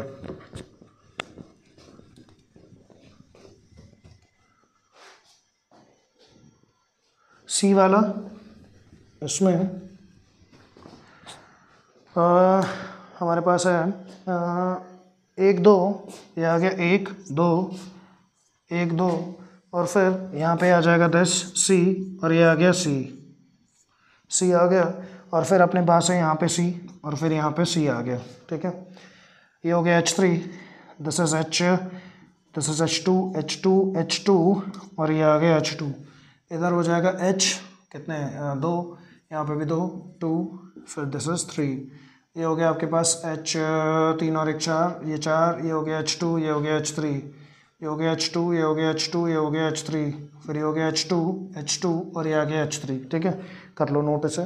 फिर चौथा फोर्थ वन फोर्थ वन है डी ये है आपका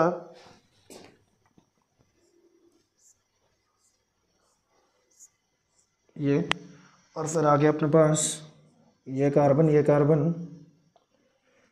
ये कार्बन ये कार्बन ठीक है?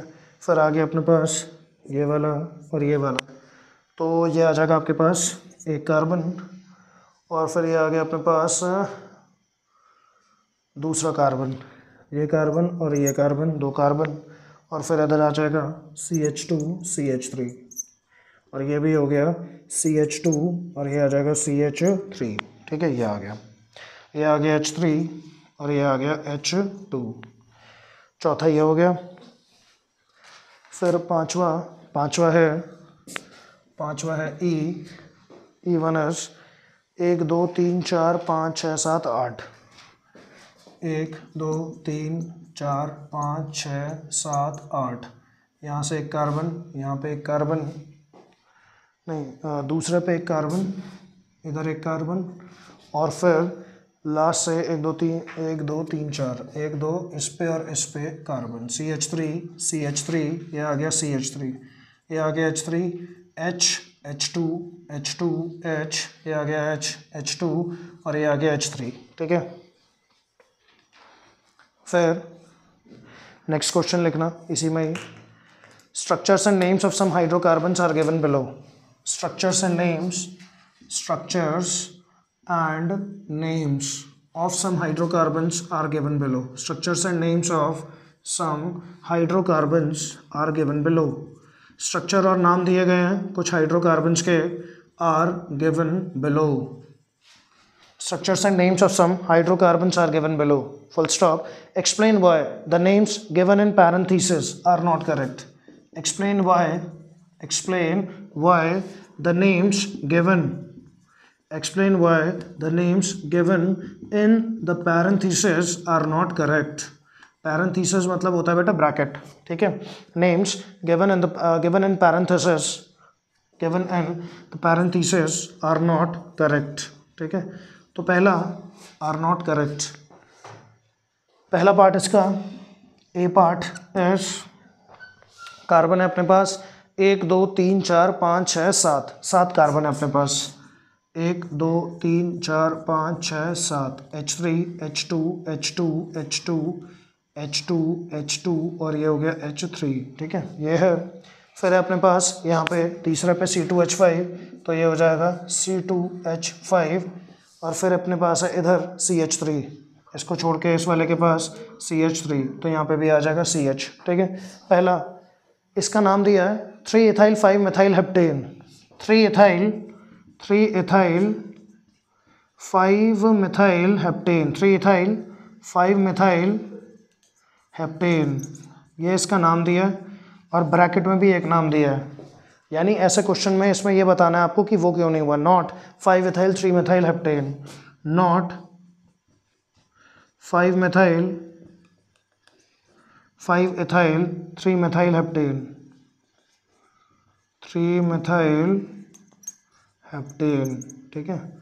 ऊपर वाला क्यों हुआ, नीचे वाला क्यों नहीं हुआ, ये आपको बताना है इसमें। आगे बढ़ते हैं बी पार्ट इसका second part B part is एक, दो, तीन, चार, पाँच. पाँच कार्बन एक, दो, तीन, चार, पाँच. ठीक है? ये पाँच कार्बन इन पाँच कार्बन में इधर इधर सी एच थ्री इधर इधर सी एच थ्री ये भी सी एच थ्री तो एक एच एक एच हो जाएगा यहाँ पे. ठीक है? बी इसका नाम है two three di methyl pentane two three two three di methyl pentane two three di methyl pentane ठीक है? और not three four di methyl pentane not three four di methyl pentane not three four di methyl pentane नहीं, वो गलत है बेटा not लिखा है ना आगे। ऊपर वाला सही है बेटा हाँ। Structures and names of some hydrocarbons are given below. Explain why the names given in the parentheses are not correct. Parentheses मतलब ब्रैकेट में जो दिए हैं वो करेक्ट क्यों नहीं है ये बताना है आपको ठीक है आगे बढ़ते हैं सी सी वाला सी पार्ट ये है आपके पास एक दो तीन चार पाँच छः छः हो गए तो ये आ जाएगा C H three C H two C H two C H two C H two C H three एक दो तीन चार पाँच छः ये आ गया ठीक है फिर अपने पास सी एच थ्री यहाँ आ गया सी एच थ्री फिर आ गया अपने पास ये C H three this is कौन सा मेरे पास एक दो तीन चार चौथे पे एक दो तीन चार ये आ गया सी एच थ्री चार आ गया और फिर अपने पास एक दो तीन चार पाँच एक दो तीन चार पाँच और ये आ गया सी एच थ्री ठीक है ये आ गया सही है two three five tri hexane ये हो जाएगा two three five tri methyl hexane tri methyl hexane ठीक है? Not not two three five tri methyl hexane not two four five tri methyl hexane not two four five tri methyl hexane two four five tri methyl hexane क्यों नहीं है? ठीक है? अगला D D है अपने पास। डी वन एस डी एक, दो, तीन, चार, पाँच छः सात, आठ, नौ, दस। दस हो गए तो यहाँ लगा देंगे हम।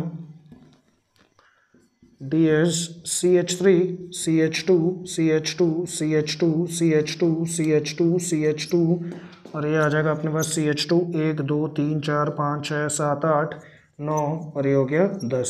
सी एच थ्री ठीक है? दस कार्बन ये हो गए और इसके साथ अपने पास है इधर से तीसरे पे, इधर से तीसरे पे C H two C H three ठीक है? तो इधर हट जाएगा एक एच अच्छा फिर अपने पास इधर से तीसरे पे, पाँचवें पे, इधर से तीसरे, पाँचवें पे, यहाँ पे आ जाएगा आपके पास कार्बन, ठीक है? और फिर इसके पास है एक, दो, तीन। यहाँ पे आ गया तीन कार्बन तीन कार्बन ये हो गया बेटा, और ये हो गया, इधर भी कार्बन और इधर भी आ गया कार्बन। कार्बन और कार्बन, ठीक है? हम्म। कहाँ पे? हाँ वहाँ पे भी सी एच होगा, बिल्कुल। सी वाले में कहाँ पे बेटा? यहाँ पे? हाँ यहाँ पे लग गया एच हाँ जी, बिल्कुल, सही है हाँ। अब यहाँ पे आपने बोला, सर, यहाँ पे भी एक एच हटा दो, हट गया। यहाँ आ गया अपने पास H two this is H three H three ये हो गया एच थ्री ठीक है, ये आ गया आपके पास। और क्या है? बस यही है। दिस दिस नहीं, इसके साथ भी एक कार्बन और है यहाँ पे। तो आप बोलोगे ये कार्बन ये हो गया एच थ्री एंड ये हो गया एच टू ठीक है? अच्छा। ये आ गया अपने पास। ठीक। डी हो गया। डन डन डन ठीक है। इसमें लिखना, इसका नाम है five dash two ethyl butyl five dash two ethyl five dash two five dash two ethyl five dash two ethyl और फिर यहाँ आएगा butyl three three dimethyl decane ethyl butyl ethyl butyl ठीक है। फिर आएगा three three dimethyl decane three three dimethyl decane dimethyl decane ठीक है? Three three dimethyl decane five two dash two ethyl butyl three three dimethyl decane not not five dash not five dash two two dimethyl butyl two two dimethyl butyl dimethyl butyl two two dimethyl butyl ठीक है? Three ethyl decane three ethyl decane three ethyl decane three ethyl decane ठीक है? ये आ गया three ethyl decane पांचवा, इसी का पांचवा यहाँ बना लेते हैं। इसी का पांचवा E part E part is ये है हमारे पास एक, दो, तीन, चार, पाँच छः सात। तो हम कर लेते हैं यहाँ पे सात, ठीक है? तो एक, दो, तीन, चार, पाँच, छः, सात। सात ये हो गए, और इधर से अगर हम देखें तो दूसरे और तीसरे, चौथे, पाँचवें, सब पे ही है। एक, दो, तीन, दूसरे पे, तीसरे पे, दूसरे पे, तीसरे पे, चौथे पे, पाँचवें पे, सब पे ही है।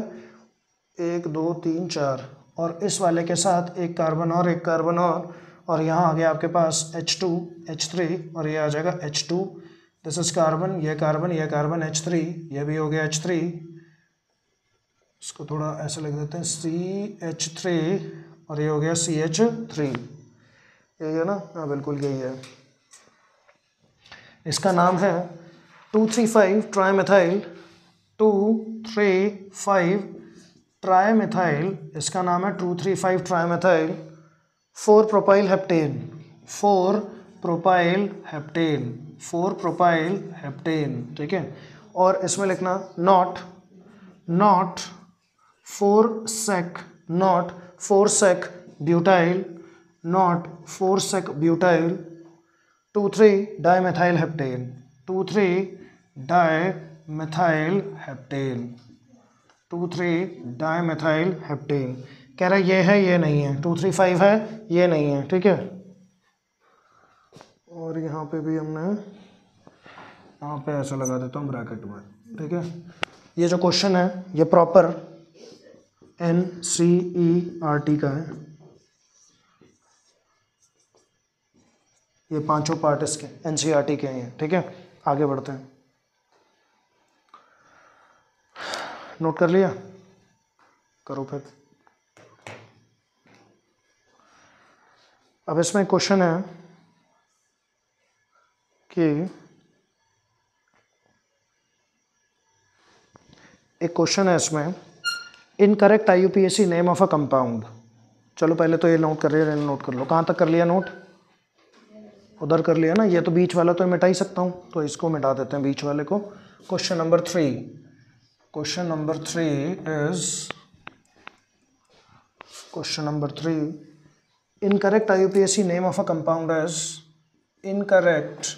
I U P S C I U P S C name of a compound in correct I U P S C name of a compound is compound is three three diethyl butane three three di ethyl butane three three diethyl butane in correct I U P S C name किसी compound का three three diethyl butane है. Write its structural formula and correct the name of the compound write its structural formula write its structural formula इसका structural formula लिखो write its structural formula and correct the name of the compound and correct the name of the compound correct the name of the compound और compound का जो नाम है उसे correct करके लिख दो कह रहा आई नाम ये दे रखा है इसका स्ट्रक्चरल फॉर्मूला बनाओ और इसका नाम करेक्ट करो। मतलब ये गलत नाम है, ठीक है? और इसका बना के स्ट्रक्चर आपको इसका नाम सही करना है, ठीक है? ये चारों क्वेश्चन भी होमवर्क हैं आपके, ठीक है? घर से करके लाने हैं। अब हम देखेंगे rules for naming compounds containing double and triple bonds ठीक है? डबल और ट्रिपल बॉन्ड होंगे जब, तब क्या रूल्स होते हैं? वो एक बार हम चेक कर लेंगे। फिर उसके बाद क्वेश्चन दूँगा उसके बाद लेक्चर ओवर करेंगे ठीक है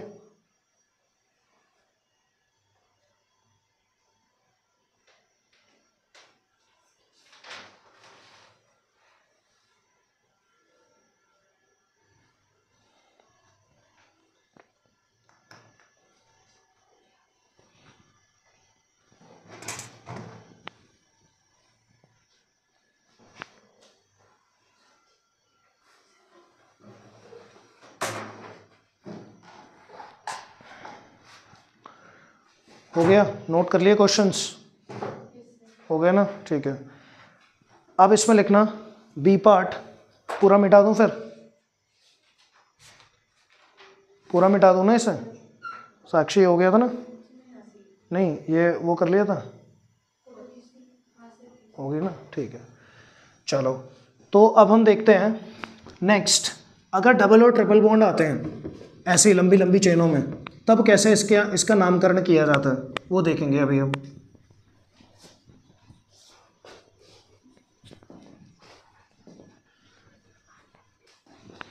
तो देखते हैं कि इसमें rules for naming compounds containing double and triple bonds rules for naming compounds containing compounds containing containing double and triple bonds. Double and triple bonds. Double and triple bonds. There are rules for naming compounds rules for naming compounds containing double and triple bonds. ठीक है? Double और triple bond पहला rule सबसे पहला rule क्या वही कि longest chain select कर लो? Select the longest continuous chain containing the carbon atoms involve in the multiple bonds देखना।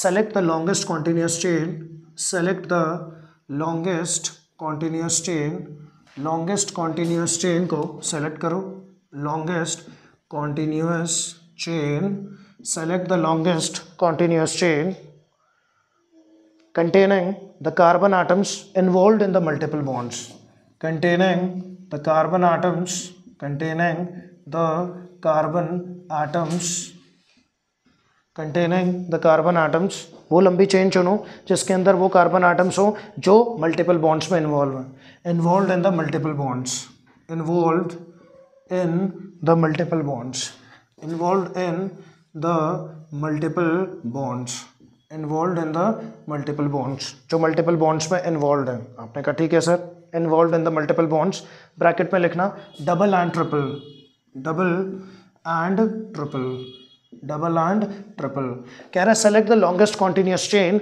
containing the carbon atoms जिनमें वो कार्बन आइटम्स है जो मल्टीपल बॉन्ड्स में इन्वॉल्व हैं डबल एंड ट्रिपल ठीक है? इससे क्या होगा? This gives the parent name of the alkene और एल्काइन ये हमें क्या देगा?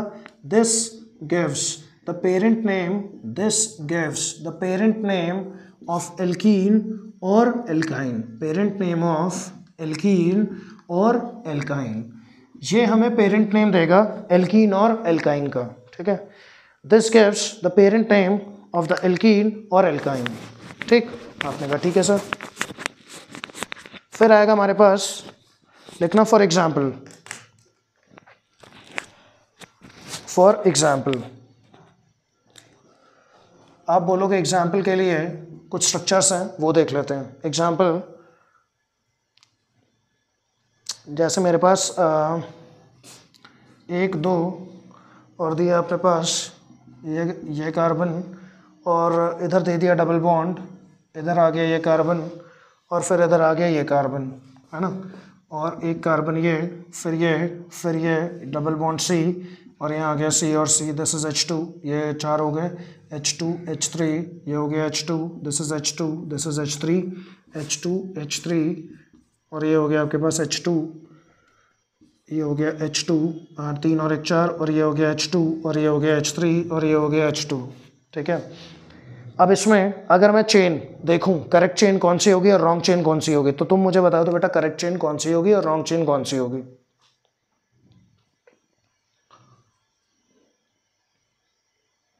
चलो मैं पहले बता ये यहाँ बना देता हूँ, फिर तुम बताना मुझे। करेक्ट चेन कौन सी है लॉन्ग चेन रॉन्ग चेन कौन सी है? ये गई? ठीक है? ये चेन आ गई अपने पास, है ना? और मैंने बोला, इधर से, अगर मैं इसे इधर ले जाता हूँ। ठीक? इधर ले गए और फिर मैं इधर ले जाता हूँ। एक चेन ये, और एक चेन मैंने बनाई, ये ये ये ये, और ये। ठीक है? कौन सी वाली सही होगी और कौन सी वाली गलत होगी? कौन सी वाली चेन सही होगी इसमें से और कौन सी गलत होगी?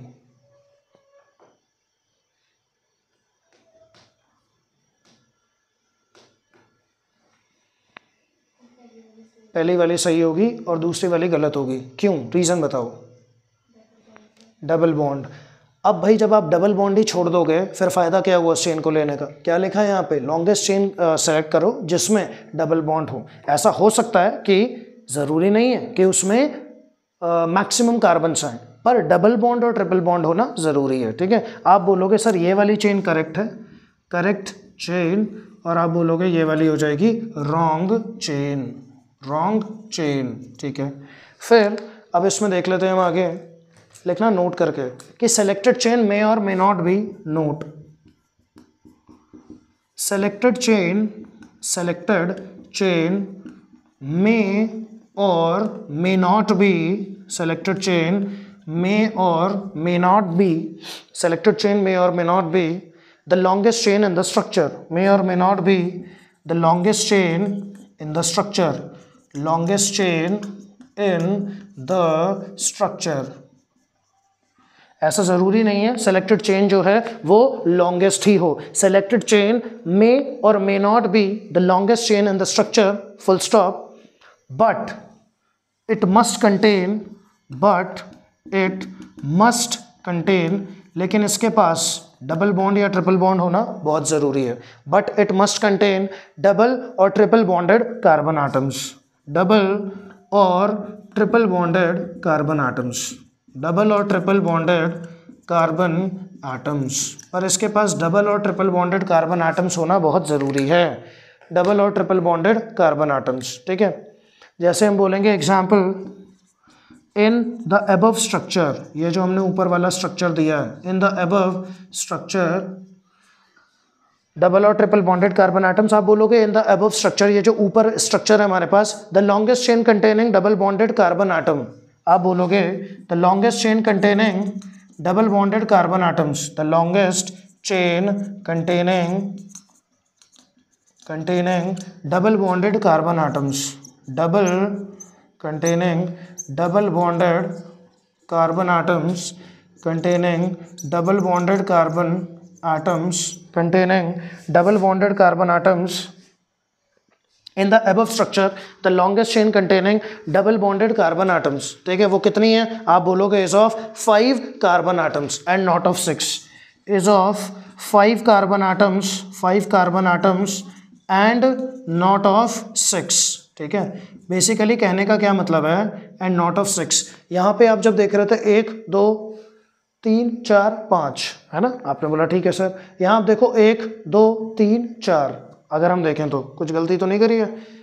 C S two C S two बिल्कुल सही है, सब कुछ परफेक्ट है, बिल्कुल सही है। तो आप बोलोगे कि हाँ एक, दो, तीन, चार चार हो गई अपने पास, और आप बोलोगे यहाँ पे एक, दो, तीन, चार, पाँच। जब आप यहाँ पे आ रहे थे तो पाँच आ रही थी, और यहाँ पे आए तो चार ही आ रही है ना? तो आपने बोला कि ऐसा ज़रूर in the above structure the longest chain containing double bond carbon atoms is of five carbon atoms and not of six ठीक है? तो यहाँ पे हमारे पास एक, दो, तीन, चार, पाँच, एक, दो, तीन, चार, एक, दो, तीन, चार तो भी चार ही आ रहे हैं ना? चार आ रहे हैं ना उसमें? एक, दो, तीन, चार, और कौन सा है? कहाँ पे? पाँच कैसे हुए बेटा? अच्छा हाँ ये एक, दो, तीन, चार, ओके ओके, मैं बार बार ऐसे गिन रहा हूँ हाँ। पाँच आ गए और वहाँ कितने आ गए छः आ गए बेटा, कैसे? एक, दो, तीन, चार, पाँच, छः। आप बोलोगे एक, दो, तीन, चार, पाँच हो गए। एक, दो, तीन, चार, पाँच, ठीक है? तो आप बोलोगे कि पाँच कार्बन आइटम्स है छः नहीं है। फिर भी यही वाली चेन क्या है? करेक्ट, क्योंकि इसके अंदर डबल बॉन्ड आ रहा है। सिंपल। आगे बढ़ते हैं। नेक्स्ट पॉइंट इसका कि while writing the name of the alkene और एल्काइन दूसरा rule while writing the name of alkene और alkyne while writing the name of while writing the name of the alkene और alkyne. The alkene और alkyne.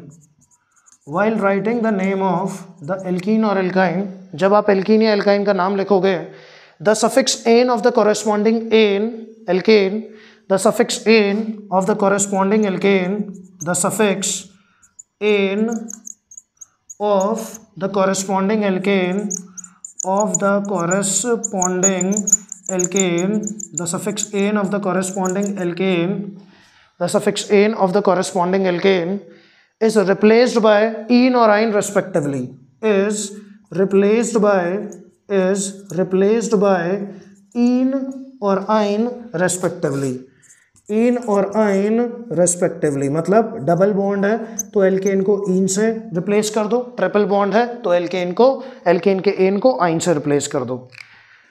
ठीक है sir ये बात समझ आ गई. तीसरा point the numbering of atoms in the parent chain ये तो दिखेगा ही नहीं, हल्का. The numbering of atoms in the parent chain the numbering of atoms ये दिख रहा है? दिख रहा है? The numbering of atoms the numbering of atoms in the parent chain the numbering of atoms in the parent chain जो parent chain में आप नंबरिंग करोगे आइटम्स की the numbering of atoms in the parent chain ठीक है is done in such a way that is done in such a way is done in such a way that is done in such a way that the numbering of atoms in the parent chain is done in such a way that the carbon atom carrying the multiple bonds gets the lowest number that the carbon atoms carrying the carbon atoms carrying the multiple bonds carrying the multiple bonds gets lowest number multiple bonds gets lowest number मतलब वो कह रहा है numbering ऐसी करो कि double और triple bond को कम नंबर मिले कार्बन को ठीक है तो हमने बोला the carbon atom carrying the multiple bonds gets lowest number ठीक है? फिर लिखना the position of multiple bond is then indicated the position the position the position of the position of ठीक है? The position of the multiple bond is then indicated by using of the multiple bond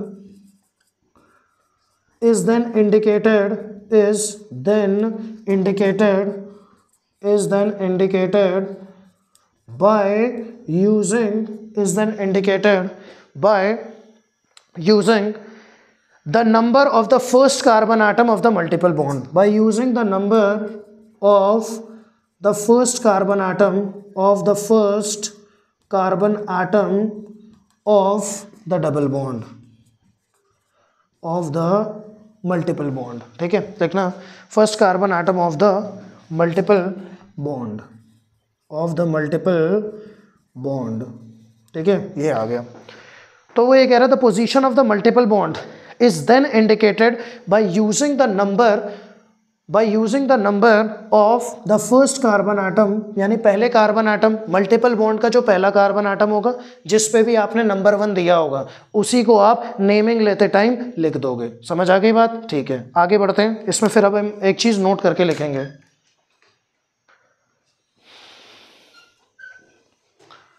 हो गया note ठीक है। मिटा देते हैं इसे।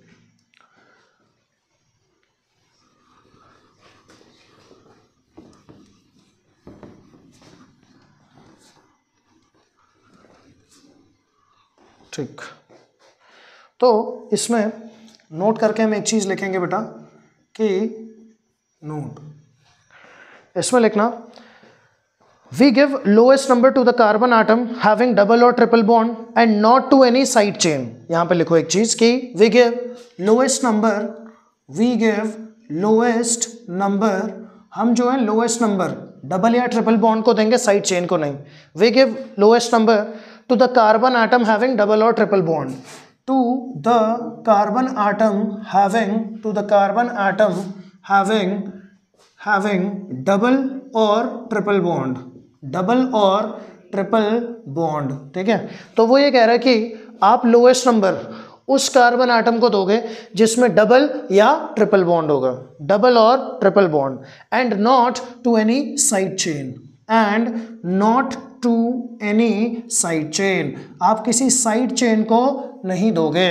We give lowest number to the carbon atom having double और triple bond and not to any side chain bracket में लिखना as in alkanes as in alkanes जैसे आप एल्केन्स में देते हो ना, ऐसे नहीं होगा यहाँ पे काम, ठीक है? एल्किन और एल्काइन है ये तो यहाँ ऐसे काम नहीं चलेगा। जैसे एग्ज़ाम्पल के लिए मैंने बोला आपके पास दो, पाँच कार्बन की एक चेन ले लेता हूँ।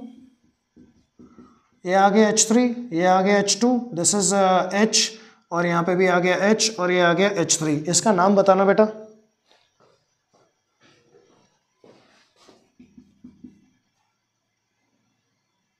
बताओ जल्दी।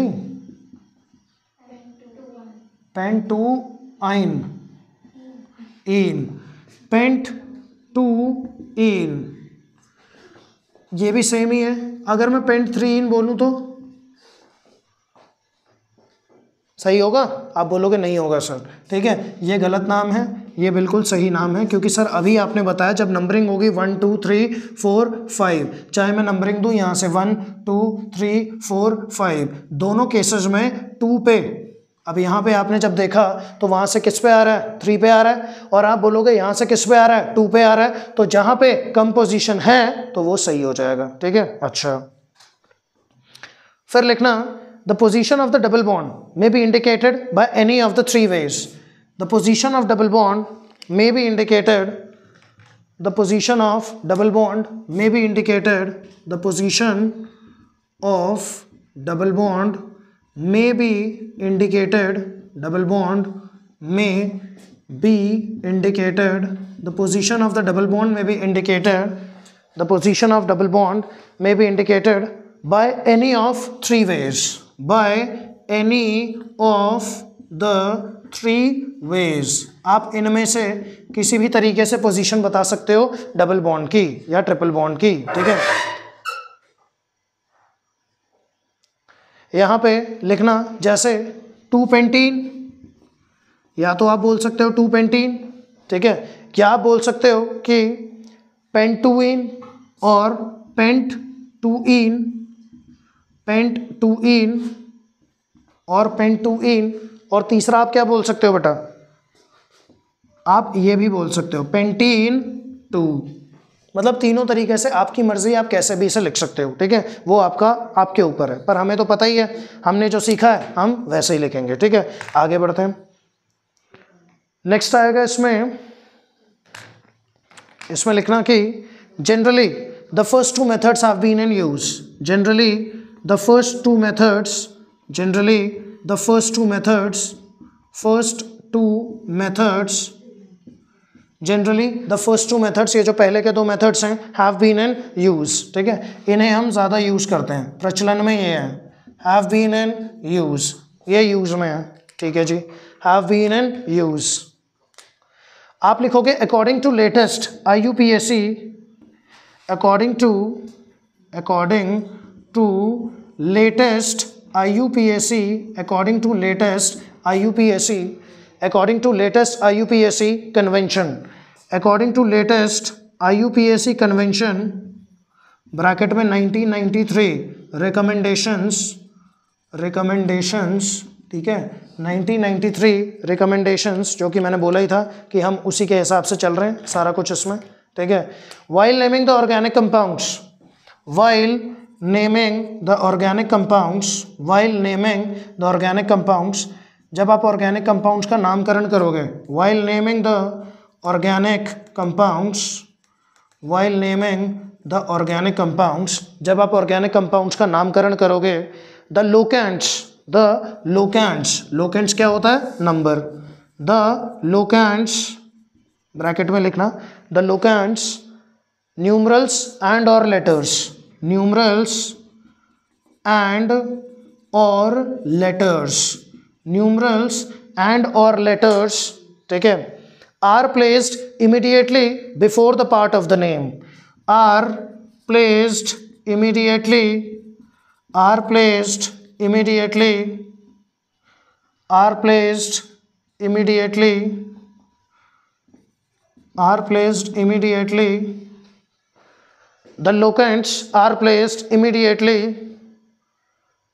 before the part of the name are placed immediately before the part of the name before the part of the name यानी नाम के उस पार्ट से पहले आप लगा दोगे जस्ट पहले लगा दोगे before the part of the name to which they relate जिससे कि वो रिलेट कर रहे हैं to which they relate to which they relate to which they relate to which they relate ठीक है?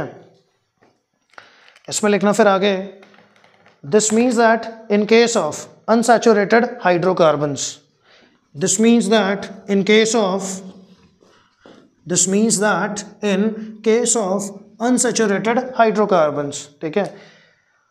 that locant of the double bond or triple bond likhna this means that in case of this means that in case of unsaturated hydrocarbons in case of unsaturated hydrocarbons in case of unsaturated hydrocarbons this means that in case of unsaturated hydrocarbons take care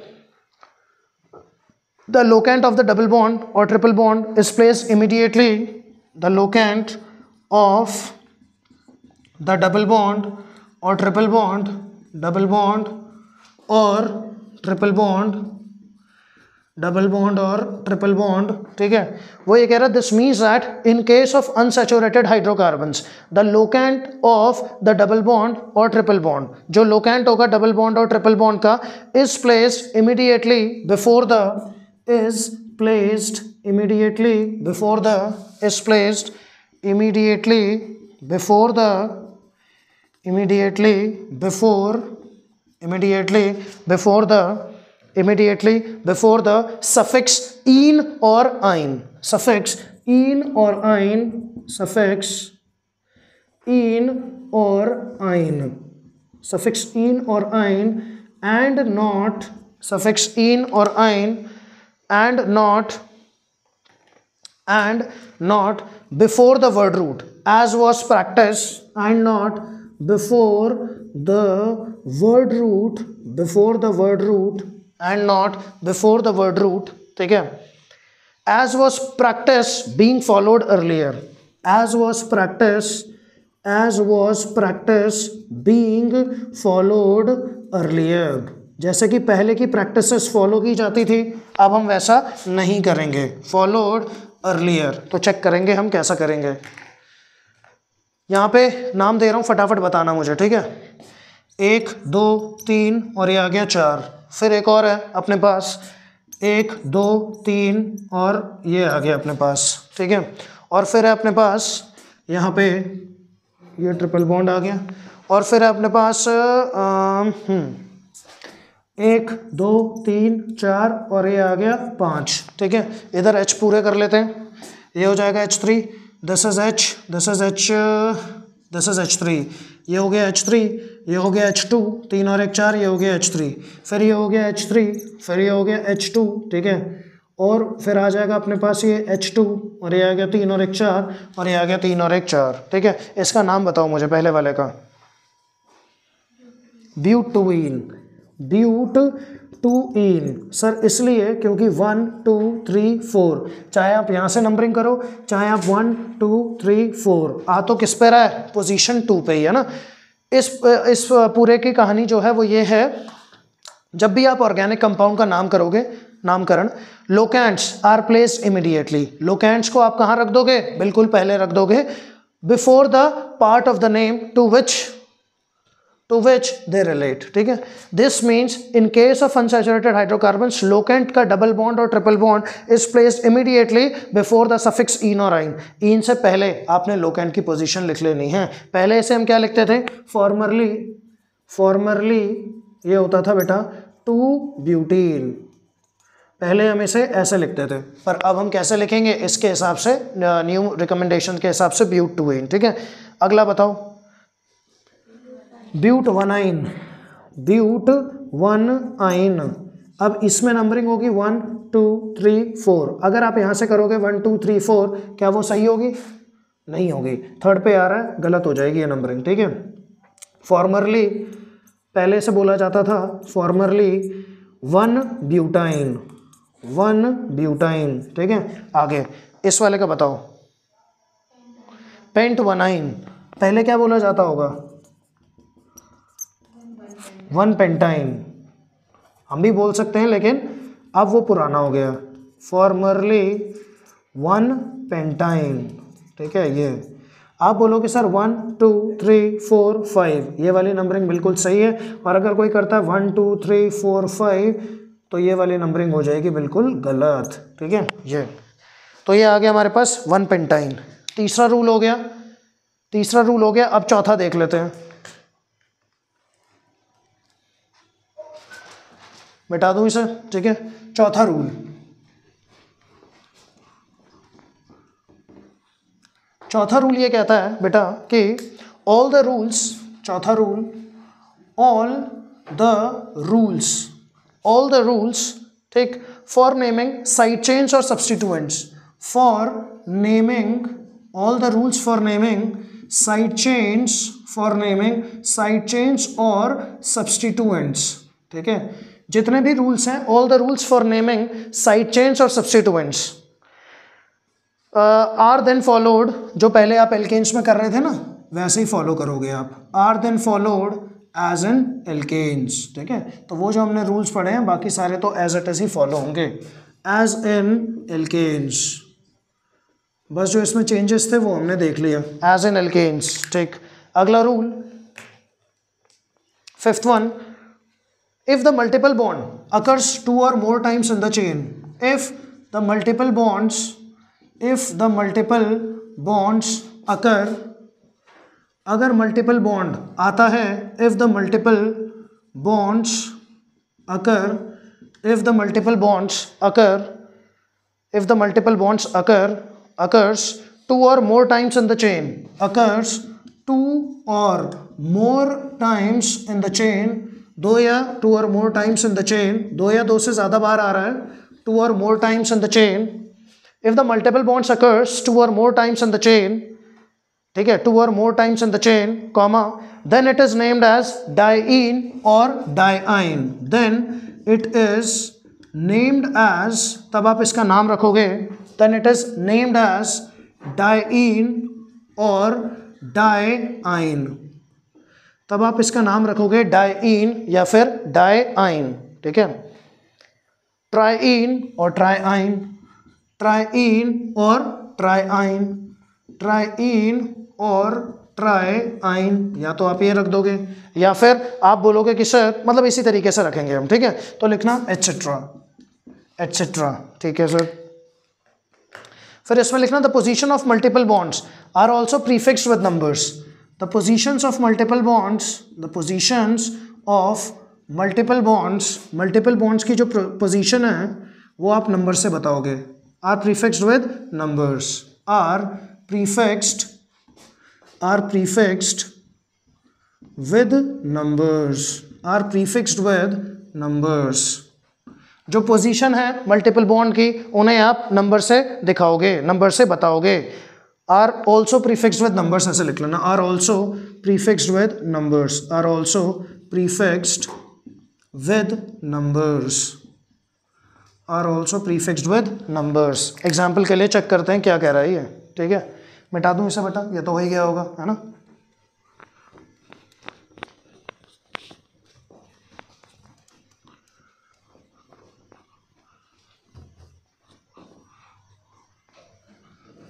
आप ये देखो कि ये जो कह रहा है, उसको हम देख लेते हैं फटाफट। अगर मेरे पास यहाँ पे दो कार्बन फिर मेरे पास ये आ गया डबल बॉन्ड नाम बताना इसका। H two H H H two नाम बोलना है इसका ज़रा।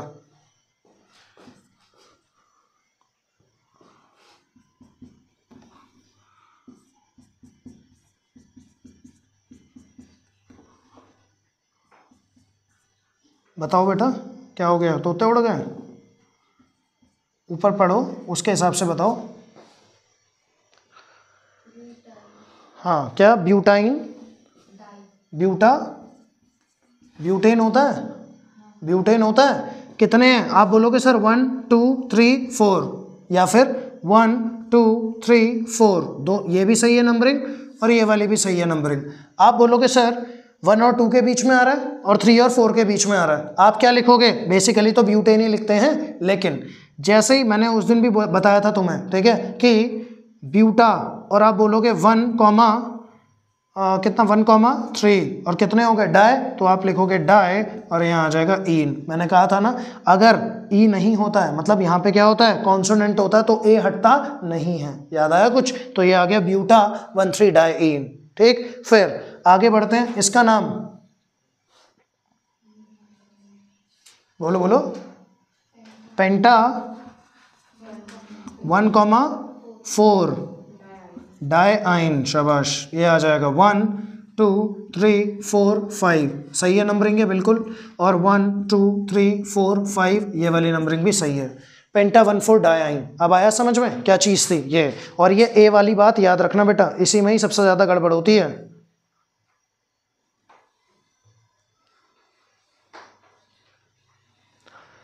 अच्छा आगे बढ़ते हैं अब। अब है अपने पास कि कुछ चेन मैं दे रहा हूँ, उसके नाम बताना। कार्बन कार्बन, और इधर आ जाएगा अपने पास एक कार्बन, डबल बॉन्ड, ये आ गया कार्बन, ठीक है? फिर इधर आ गया कार्बन, फिर इधर आ गया कार्बन, ये, फिर इधर आ गया एक कार्बन। अच्छा अब यहाँ पे आ गया एच टू दिस इज़ तीन दो और दो चार हो गए, तीन और एक चार हो गया, और यहाँ आ गया एच थ्री यहाँ आ गया एच थ्री ये आ गया एच टू और ये आ गया एच थ्री ठीक है? फिर अपने पास एक, दो, तीन, चार, एक, दो, तीन, ये हो गया ट्रिपल बॉन्ड चार, ठीक है? और यहाँ आ गया आपके पास सी ये हो गया एच थ्री एच थ्री तीन और एक चार, ये हो गया चार, और तीन और एक चार यहाँ पे हो जाएगा सी एच थ्री ठीक है?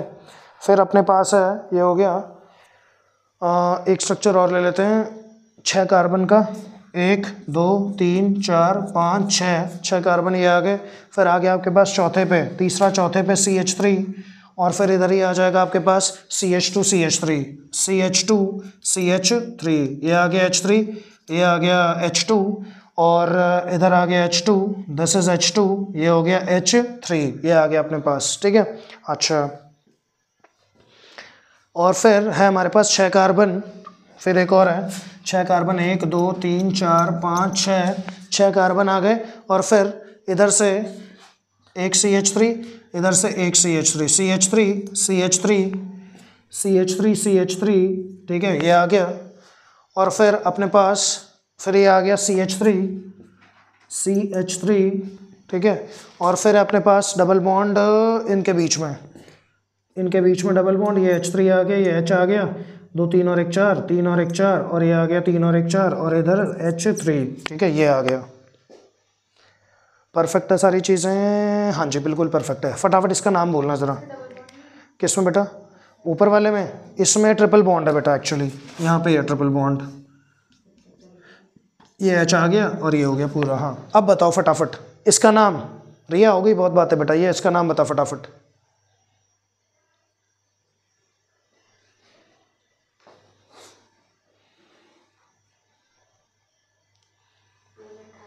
टू मेथाइल थ्री मेथाइल यहाँ से ले लो आप वन टू थ्री फोर पहले तो नंबरिंग बता दिया करो मुझे, है ना? अगर हम यहाँ से लेंगे तो सेकंड पे ये पढ़ रहा है, और थर्ड पे ये पढ़ रहा है। तो सर, ऐसे तो यहाँ से ले रहे हैं तो सेकंड पे पढ़ रहा है वो तो है ना? लेकिन फ़र्स्ट पे कौन पढ़ रहा है? डबल बॉन्ड इसीलिए ये वाली नंबरिंग बिल्कुल सही है।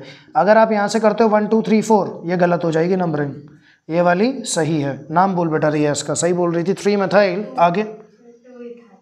टू एथाइल बिल्कुल। फिर थ्री मेथाइल गुड फिर ब्यूट वन इन बिल्कुल। ब्यूट वन इन बिल्कुल सही है, यही नाम है। आप बोलोगे, सर, बिल्कुल सही नाम आ गया।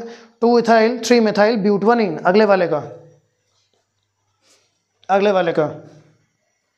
नंबरिंग नंबरिंग बताओ पहले तो। इधर से। वन टू थ्री फोर अब three methyl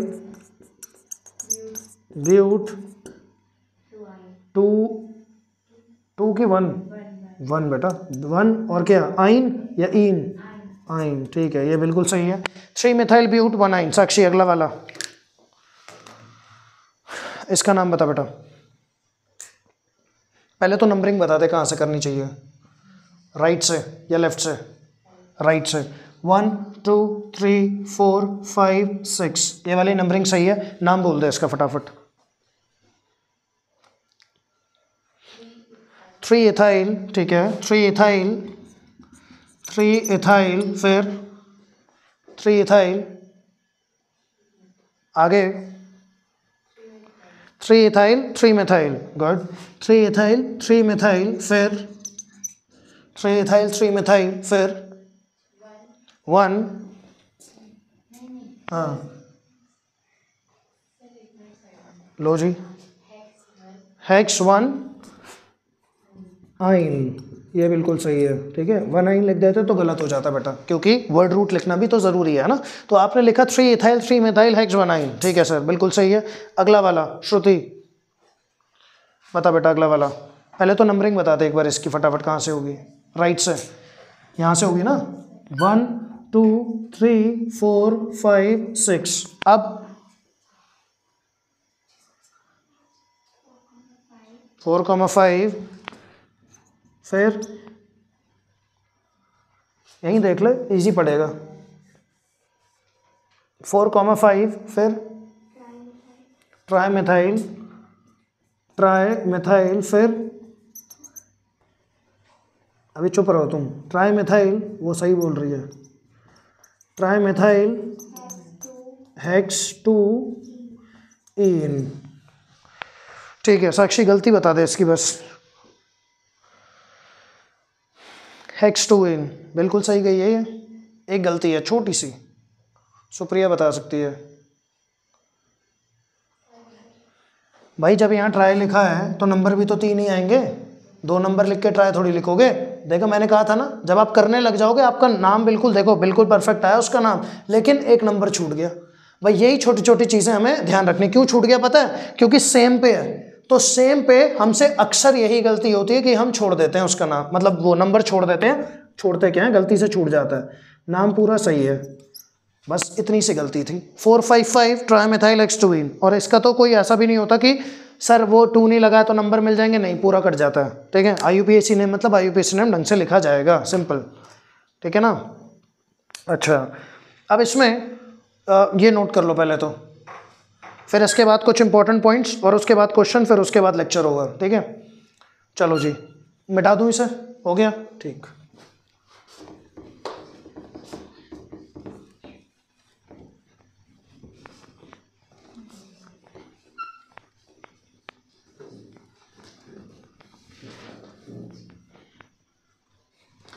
चलो। तो इसमें लिखना important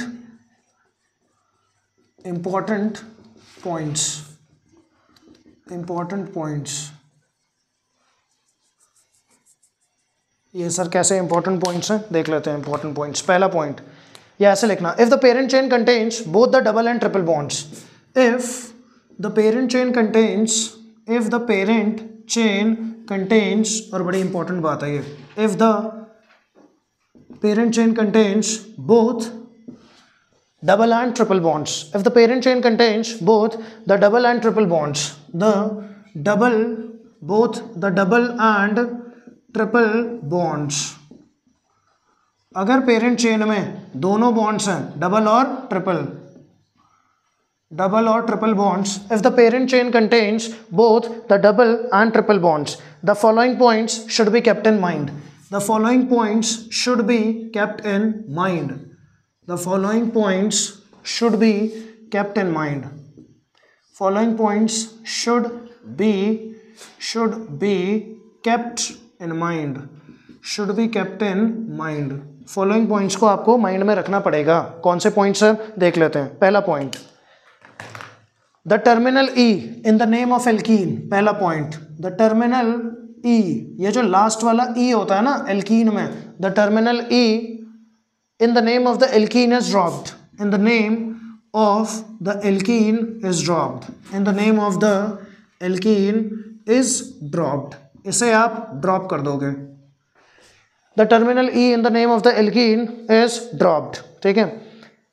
In the is dropped if it is followed by the suffix if it is followed by suffix अगर ये इसके आगे ये सफिक्स लगा। If it is followed by suffix if it is followed by suffix if it is followed by the suffix beginning with by the suffix beginning with by the suffix beginning with beginning with अगर suffix जो इसके आगे लगा है ठीक है, वो शुरू हो रहा है ए आई ओ यू और Y A I O U और वाई ई e नहीं है इसमें, ध्यान रखना.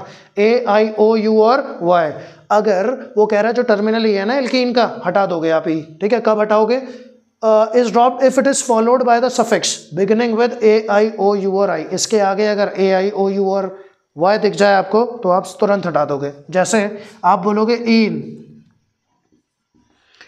इसके आगे आपको क्या दिख गया? अब मान लो अगर इसी के आगे आपको दिख गया कि आ, ऐसे लिख दो the terminal in the name is dropped if it is followed by the suffix beginning with A E I O U और ये आ गया हमारे पास है ना? वाई तो आपने बोला इन आ गया तो आप तुरंत ड्रॉप कर दोगे। जैसे ही देखो यहाँ आई था ना इसलिए ई ड्रॉप हो गया उसका ठीक? फिर आगे लिखना कि अगर ए डाइन है, मान लो, जैसे ब्यूटा डाइन हमने लिखा था ना, फिर से अगर यहाँ पे हमारे पास आ जाता है इन आ गया, और फिर यहाँ पे आ जाता है हमारे पास वाई एन ई तो फिर वाई से शुरू हो गया तो इसलिए वो वाला ई e हमने क्या कर दिया? ड्रॉप कर दिया, ठीक है? ये चीज़ है।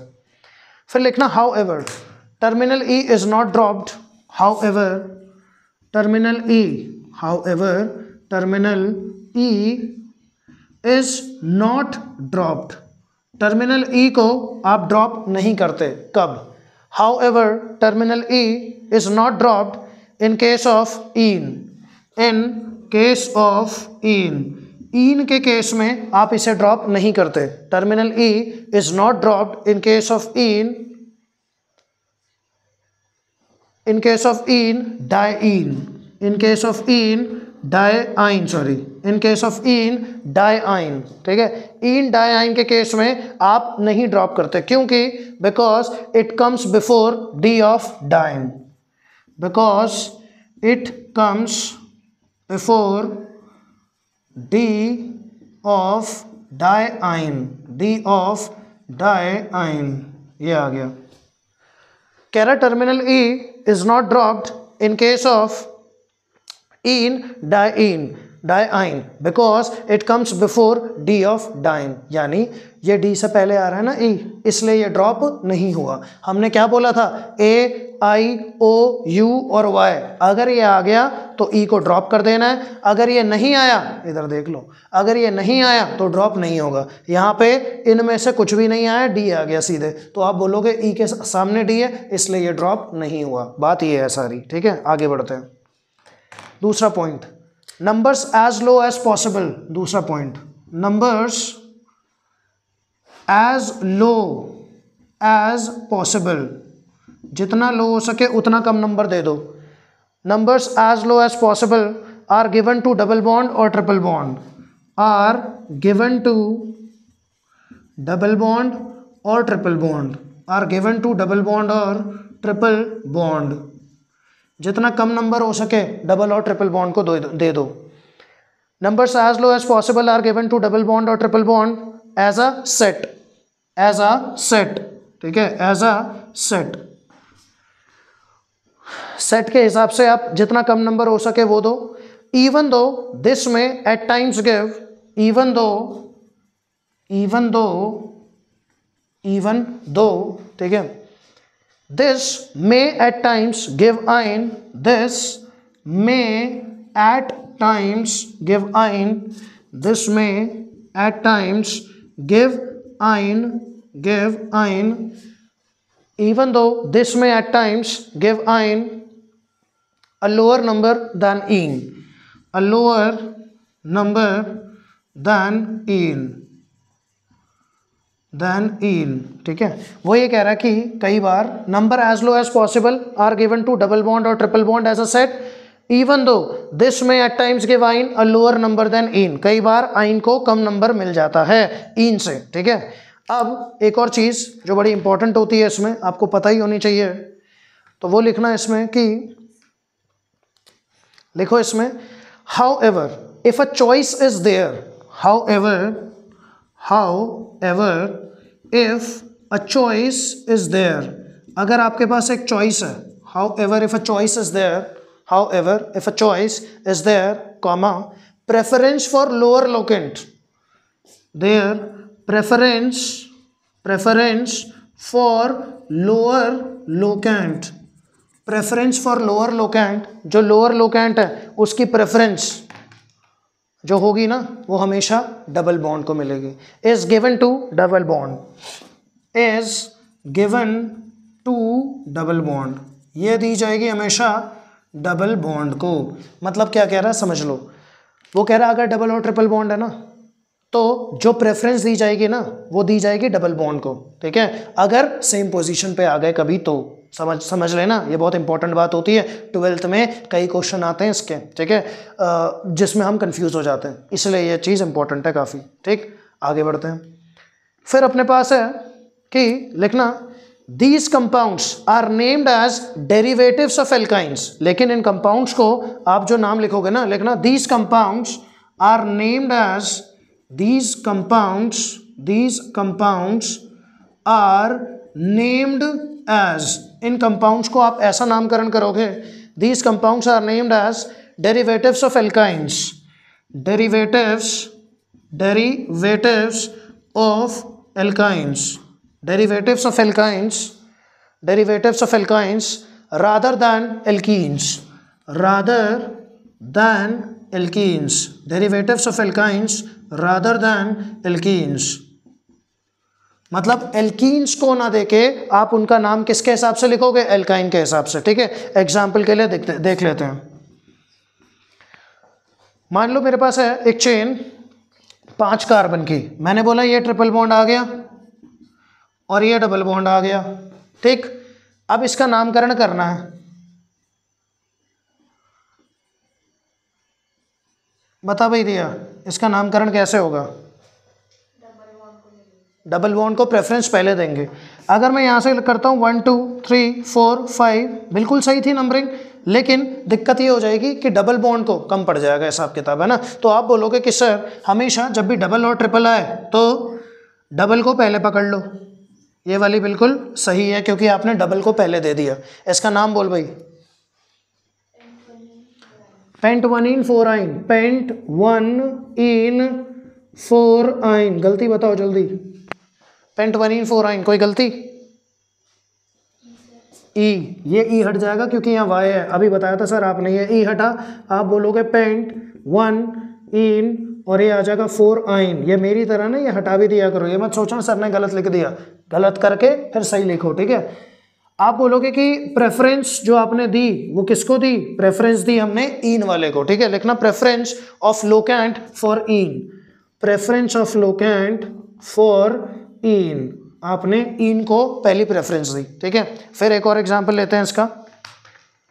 एग्जांपल है अपने पास छः कार्बन और इधर ट्रिपल उधर double C triple bond C फिर आ गया अपने पास एक सी फिर डबल बॉन्ड सी ये आ गया।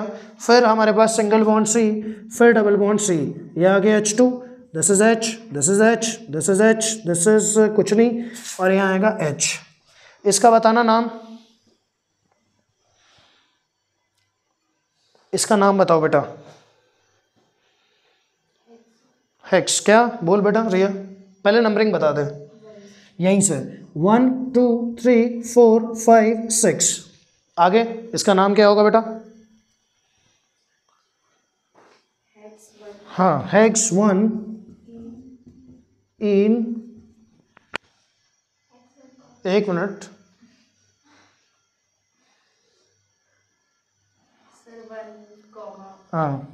वन कॉमा थ्री इन हाँ जी, श्रुति, गलतियाँ बताइए इसकी। अच्छा और है? हाँ बता बता। Dash five yne. ठीक। श्रुति, गलतियाँ बता, अभी भी है। हाँ इन। क्या करूँ? ई हटा दूँ। ठीक है, हटा दिया। अब हो गया, शाबाश। सुप्रिया, फिर गलती है। क्या गलती है?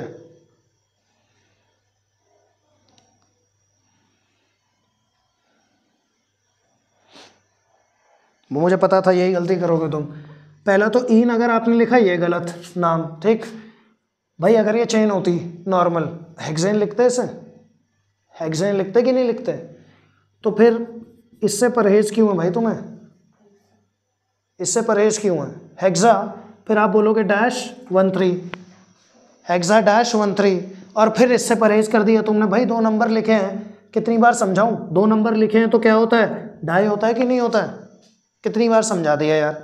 डाई, और फिर उसके बाद आप लिखोगे इन। अब देखेंगे ई हटेगा कि नहीं हटेगा, वो भी देख लेंगे।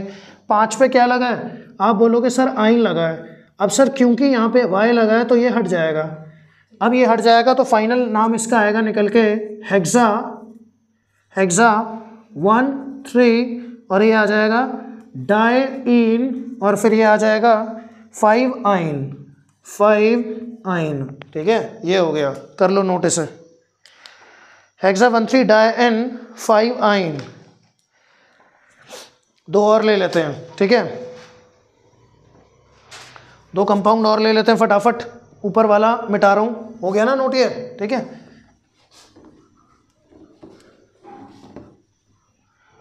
दो कंपाउंड ले लेते हैं। देन इसमें लिखना C triple bond C C triple bond C एक ये आ गया, फिर आ गया single bond C double bond C फिर ये आ गया एक सिंगल बॉन्ड सी एक ये है, और एक है आपके पास C triple bond C C triple bond C फिर आ गया अपने पास single bond C double bond C single bond C, double bond C, single bond C, double bond C, और फिर आ गया अपने पास ये single C, double bond C, single bond C, बिल्कुल। यहाँ आपने बोला यहाँ एच आ जाएगा सर, फिर ये तीन और एक चार, और ये आ जाएगा दो सॉरी तीन और एक चार, और ये आ जाएगा एक, और ये आ जाएगा तीन, फिर इधर आ जाएगा तीन, इधर आएगा तीन और एक चार, तीन और एक चार, और ये आएगा एच ठीक है? ये। अब इसके नाम बताओ फटाफट मुझे। दोनों सेम है? हाँ दोनों सेम है। तो पहले चेक कर लेते हैं।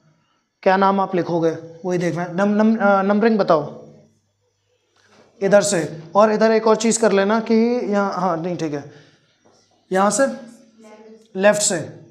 यहाँ से। क्योंकि सर अगर हम यहाँ से करते हैं तो one two three four five यहाँ से कम पे पड़ रहा है। One two three four five यहाँ से वन पे पड़ रहा है। तो तुमने बोला ये वाला, है ना? तो इसका नाम क्या आएगा? इसका नाम आएगा बेटा pent two ene pent two ene अब आपको पता है इन है, और ये क्या है? फोर पे, फोर आइन, है ना? ये आ गया। ई हटाया, sir. Pent two ene E हट गया, और ये आ गया फोर आइन। ठीक है, सर, तुम्हारे हिसाब से ये सही है, सर। इधर देख लेते हैं। ये नाम आ जाएगा पेंट, वन आइन, है ना? और क्या आ गया? थ्री और फोर के बीच में तो आपने बोला थ्री और फोर सॉरी थ्री इन ये आ गया बेटा, ठीक है? इसमें से भी अगर हम देखें तो आप बोलोगे कि सर यहाँ पे पहले वाई पहले आता है अल्फ़ाबेटिकली तो पहले एक बार इसे लिख दो। Pent three ene pent three ene और फिर आपने बोला वन आइन और फिर वही ई के आगे वाई आ रहा है तो आप बोलोगे pent three en one yne ये हट गया। तुम्हारे हिसाब से सही है और ये गलत हो गया, ठीक है? एक बात याद रखना हमेशा ठीक है? वो जो ऊपर वा, ये वाला रूल था ये तब रूल था जब दोनों सेम पोजीशन पे आ रहे हों। डबल बॉन्ड और ट्रिपल बॉन्ड इधर से ट्रिपल बॉन्ड भी वन पे आ रहा हो उधर से डबल बॉन्ड भी वन पे आ रहा हो है ना? यहाँ जब आप देखोगे तो ट्रिपल बॉन्ड वन पे आ रहा है लेकिन डबल बॉन्ड वन पे नहीं आ रहा है इस बार। डबल बॉन्ड आगे शिफ्ट हो चुका है ठीक है? यहाँ पे भी आप देख लो वही स्ट्रक्चर तो सेम ही है ना? तो आप खुद सोचो बेटा नंबर मैंने क्या कहा था? जितना कम हो सके, उतना नंबर मिलना चाहिए कम डबल या ट्रिपल को। ट्रिपल को वन मिल रहा है? यहाँ ट्रिपल को पाँच मिल रहा है, या चार मिल रहा है, वैसे देख लो। और यहाँ डबल को टू मिल रहा है? कोई मतलब ही नहीं है डबल से अभी हमें। हमारे पास तो क्या है? शुरुआत में ही ट्रिपल आ गया वन पे। इसलिए ये वाला जो नाम है, बिल्कुल परफेक्ट है, और ये वाला गलत है। ठीक है? ये याद रखना इस चीज़ को।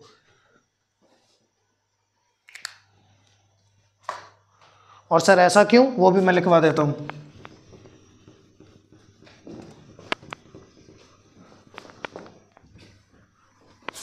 ऐसा इसलिए क्योंकि आप बोलोगे, वो जो सेट बताया था आपने सर पहले, कि जब हम नंबरिंग करेंगे the name of this compound can not be the name of this compound the name of this compound can not be can not be जो नेम है इस कंपाउंड का can not be pent two ene four yne pent two ene four yne क्यों sir because because ठीक है, लिखना because lowest set is one three rather than two four lowest set is lowest set is one three rather than two four आया समझ या नहीं आया बेटा? ठीक है? तो जो सेट होना चाहिए ना, वो कम से कम मिलना चाहिए आपको। One three rather than two comma four और दे रहा हूँ, इसके नाम बताना। सी ट्रिपल बॉन्ड सी ये आ गया। फिर अपने पास सी सिंगल बॉन्ड सी फिर आ गया अपने पास triple bond C triple bond C ठीक है? फिर आ गया अपने पास तीसरा, ये हो गया चौथा। ये हो गया एच दस तीन और एक चार, एक। ये तीन और एक चार तो यहाँ ऑलरेडी है ही। यहाँ आ गया चार। और इधर आ गया एच थ्री इसका नाम बताना, फिर एक और है double double C double bond C single bond C double bond C ये आ गया, और फिर अपने पास यहाँ पे C H three H three ये हो गया एच तीन और एक चार। और तीन और एक चार, यहाँ तो पूरा है, यहाँ दो आ जाएगा। फिर एक और लिखना है इसके बाद ट्रिपल बॉन्ड और फिर डबल बॉन्ड छः। ट्रिपल बॉन्ड सी ये आ गया।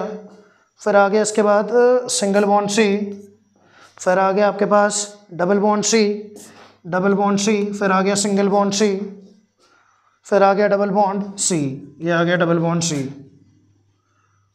double bond C ठीक है? तीन, चार, पाँच छः हाँ सही है ना? एक, दो, तीन, चार, पाँच छः राइट अभी आ गया अपने पास एच दिस इज़ एच और ये आ गया एच ये हो गया एच और ये हो गया एच थ्री ठीक है? नाम बताओ इसका। मतलब इन तीनों में से नाम बताओ फटाफट। इसका नाम बताना पहले वाले का। नंबरिंग बताओ पहले तो कहाँ से होगी? कहीं से भी कर लो sir. One two three four five चाहे one two three four five नाम बता रही है इसका फटाफट। थ्री मिथाइल फिर? वन कॉमा फोर और फिर वर्ड रूट कहाँ गया? वो भी तो आएगा, पाँच कार्बन का पेंट तो लिखा ही नहीं। थ्री मिथाइल पेंट और सिर्फ़ पेंट नहीं पेंटा ठीक है पेंटा वन फोर अब लिखोगे आप वन फोर का डाई और सर दो हैं तो आप बोलोगे डाई आइन ये बिल्कुल सही है। Penta one four die yne अगला बता, सुप्रिया। बोल बेटा नंबरिंग कहाँ से होगी? वन टू थ्री फोर यहाँ से करें तो? हाँ वो गलत हो जाएगी सर यहाँ से करें तो सिंपल नाम बताना इसका क्या होगा? टू मिथाइल फिर बेटा ब्यूट। ब्यूटा और फिर वन कॉमा थ्री। और फिर वन कॉमा थ्री में क्या है? डाई इन हाँ ये ब्यूट होता। अगर यहाँ डाई ना होता अगर सिर्फ़ वन इन लिखती ना तो ए के आगे ई कभी नहीं आता, तब वो हट जाता ए ठीक है? तो two two methyl buta one three di ene ठीक है? आगे बता, श्रुति नेक्स्ट वन पहले नंबरिंग बता दे फटाफट, इसकी कहाँ से होगी? कहाँ से होनी चाहिए नंबरिंग इधर से। One two three four five six और इधर से करूँ तो? इधर से करूँ तो? मैंने क्या बोला? डबल और ट्रिपल जब सेम पोजीशन पे हो, तब डबल के ऊपर कुछ नहीं। यहाँ से वन पे डबल भी वहाँ से वन पे। तो इसलिए नंबरिंग कौन सी सही होगी? ये वाली। जानबूझ के मैंने इसके बीच में ये दिया है, ताकि आपका गलत हो। क्योंकि आप तो यही सोचोगे ट्रिपल बॉन्ड पे ही आएगा सर पहला, है ना? पर ऐसा होता नहीं है। जब भी डबल और ट्रिपल डबल और ट्रिपल ठीक है? सेम पोजीशन पे आ रहे हैं तो डबल को आप पहली पोजीशन दोगे। तो आप बोलोगे, सर, ये वाला सही नहीं है, ये वाला बिल्कुल सही है। श्रुति, नाम बोले इसका बेटा, क्या होना चाहिए?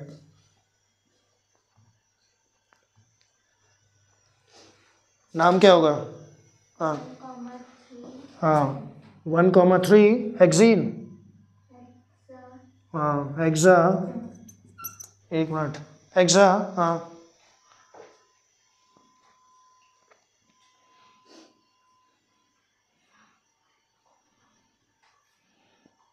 हेक्सा फिर? कुछ गलत लग रहा है ना? क्या गलत लग रहा है? हाँ। अरे भैया तुम तो पूरा ही वो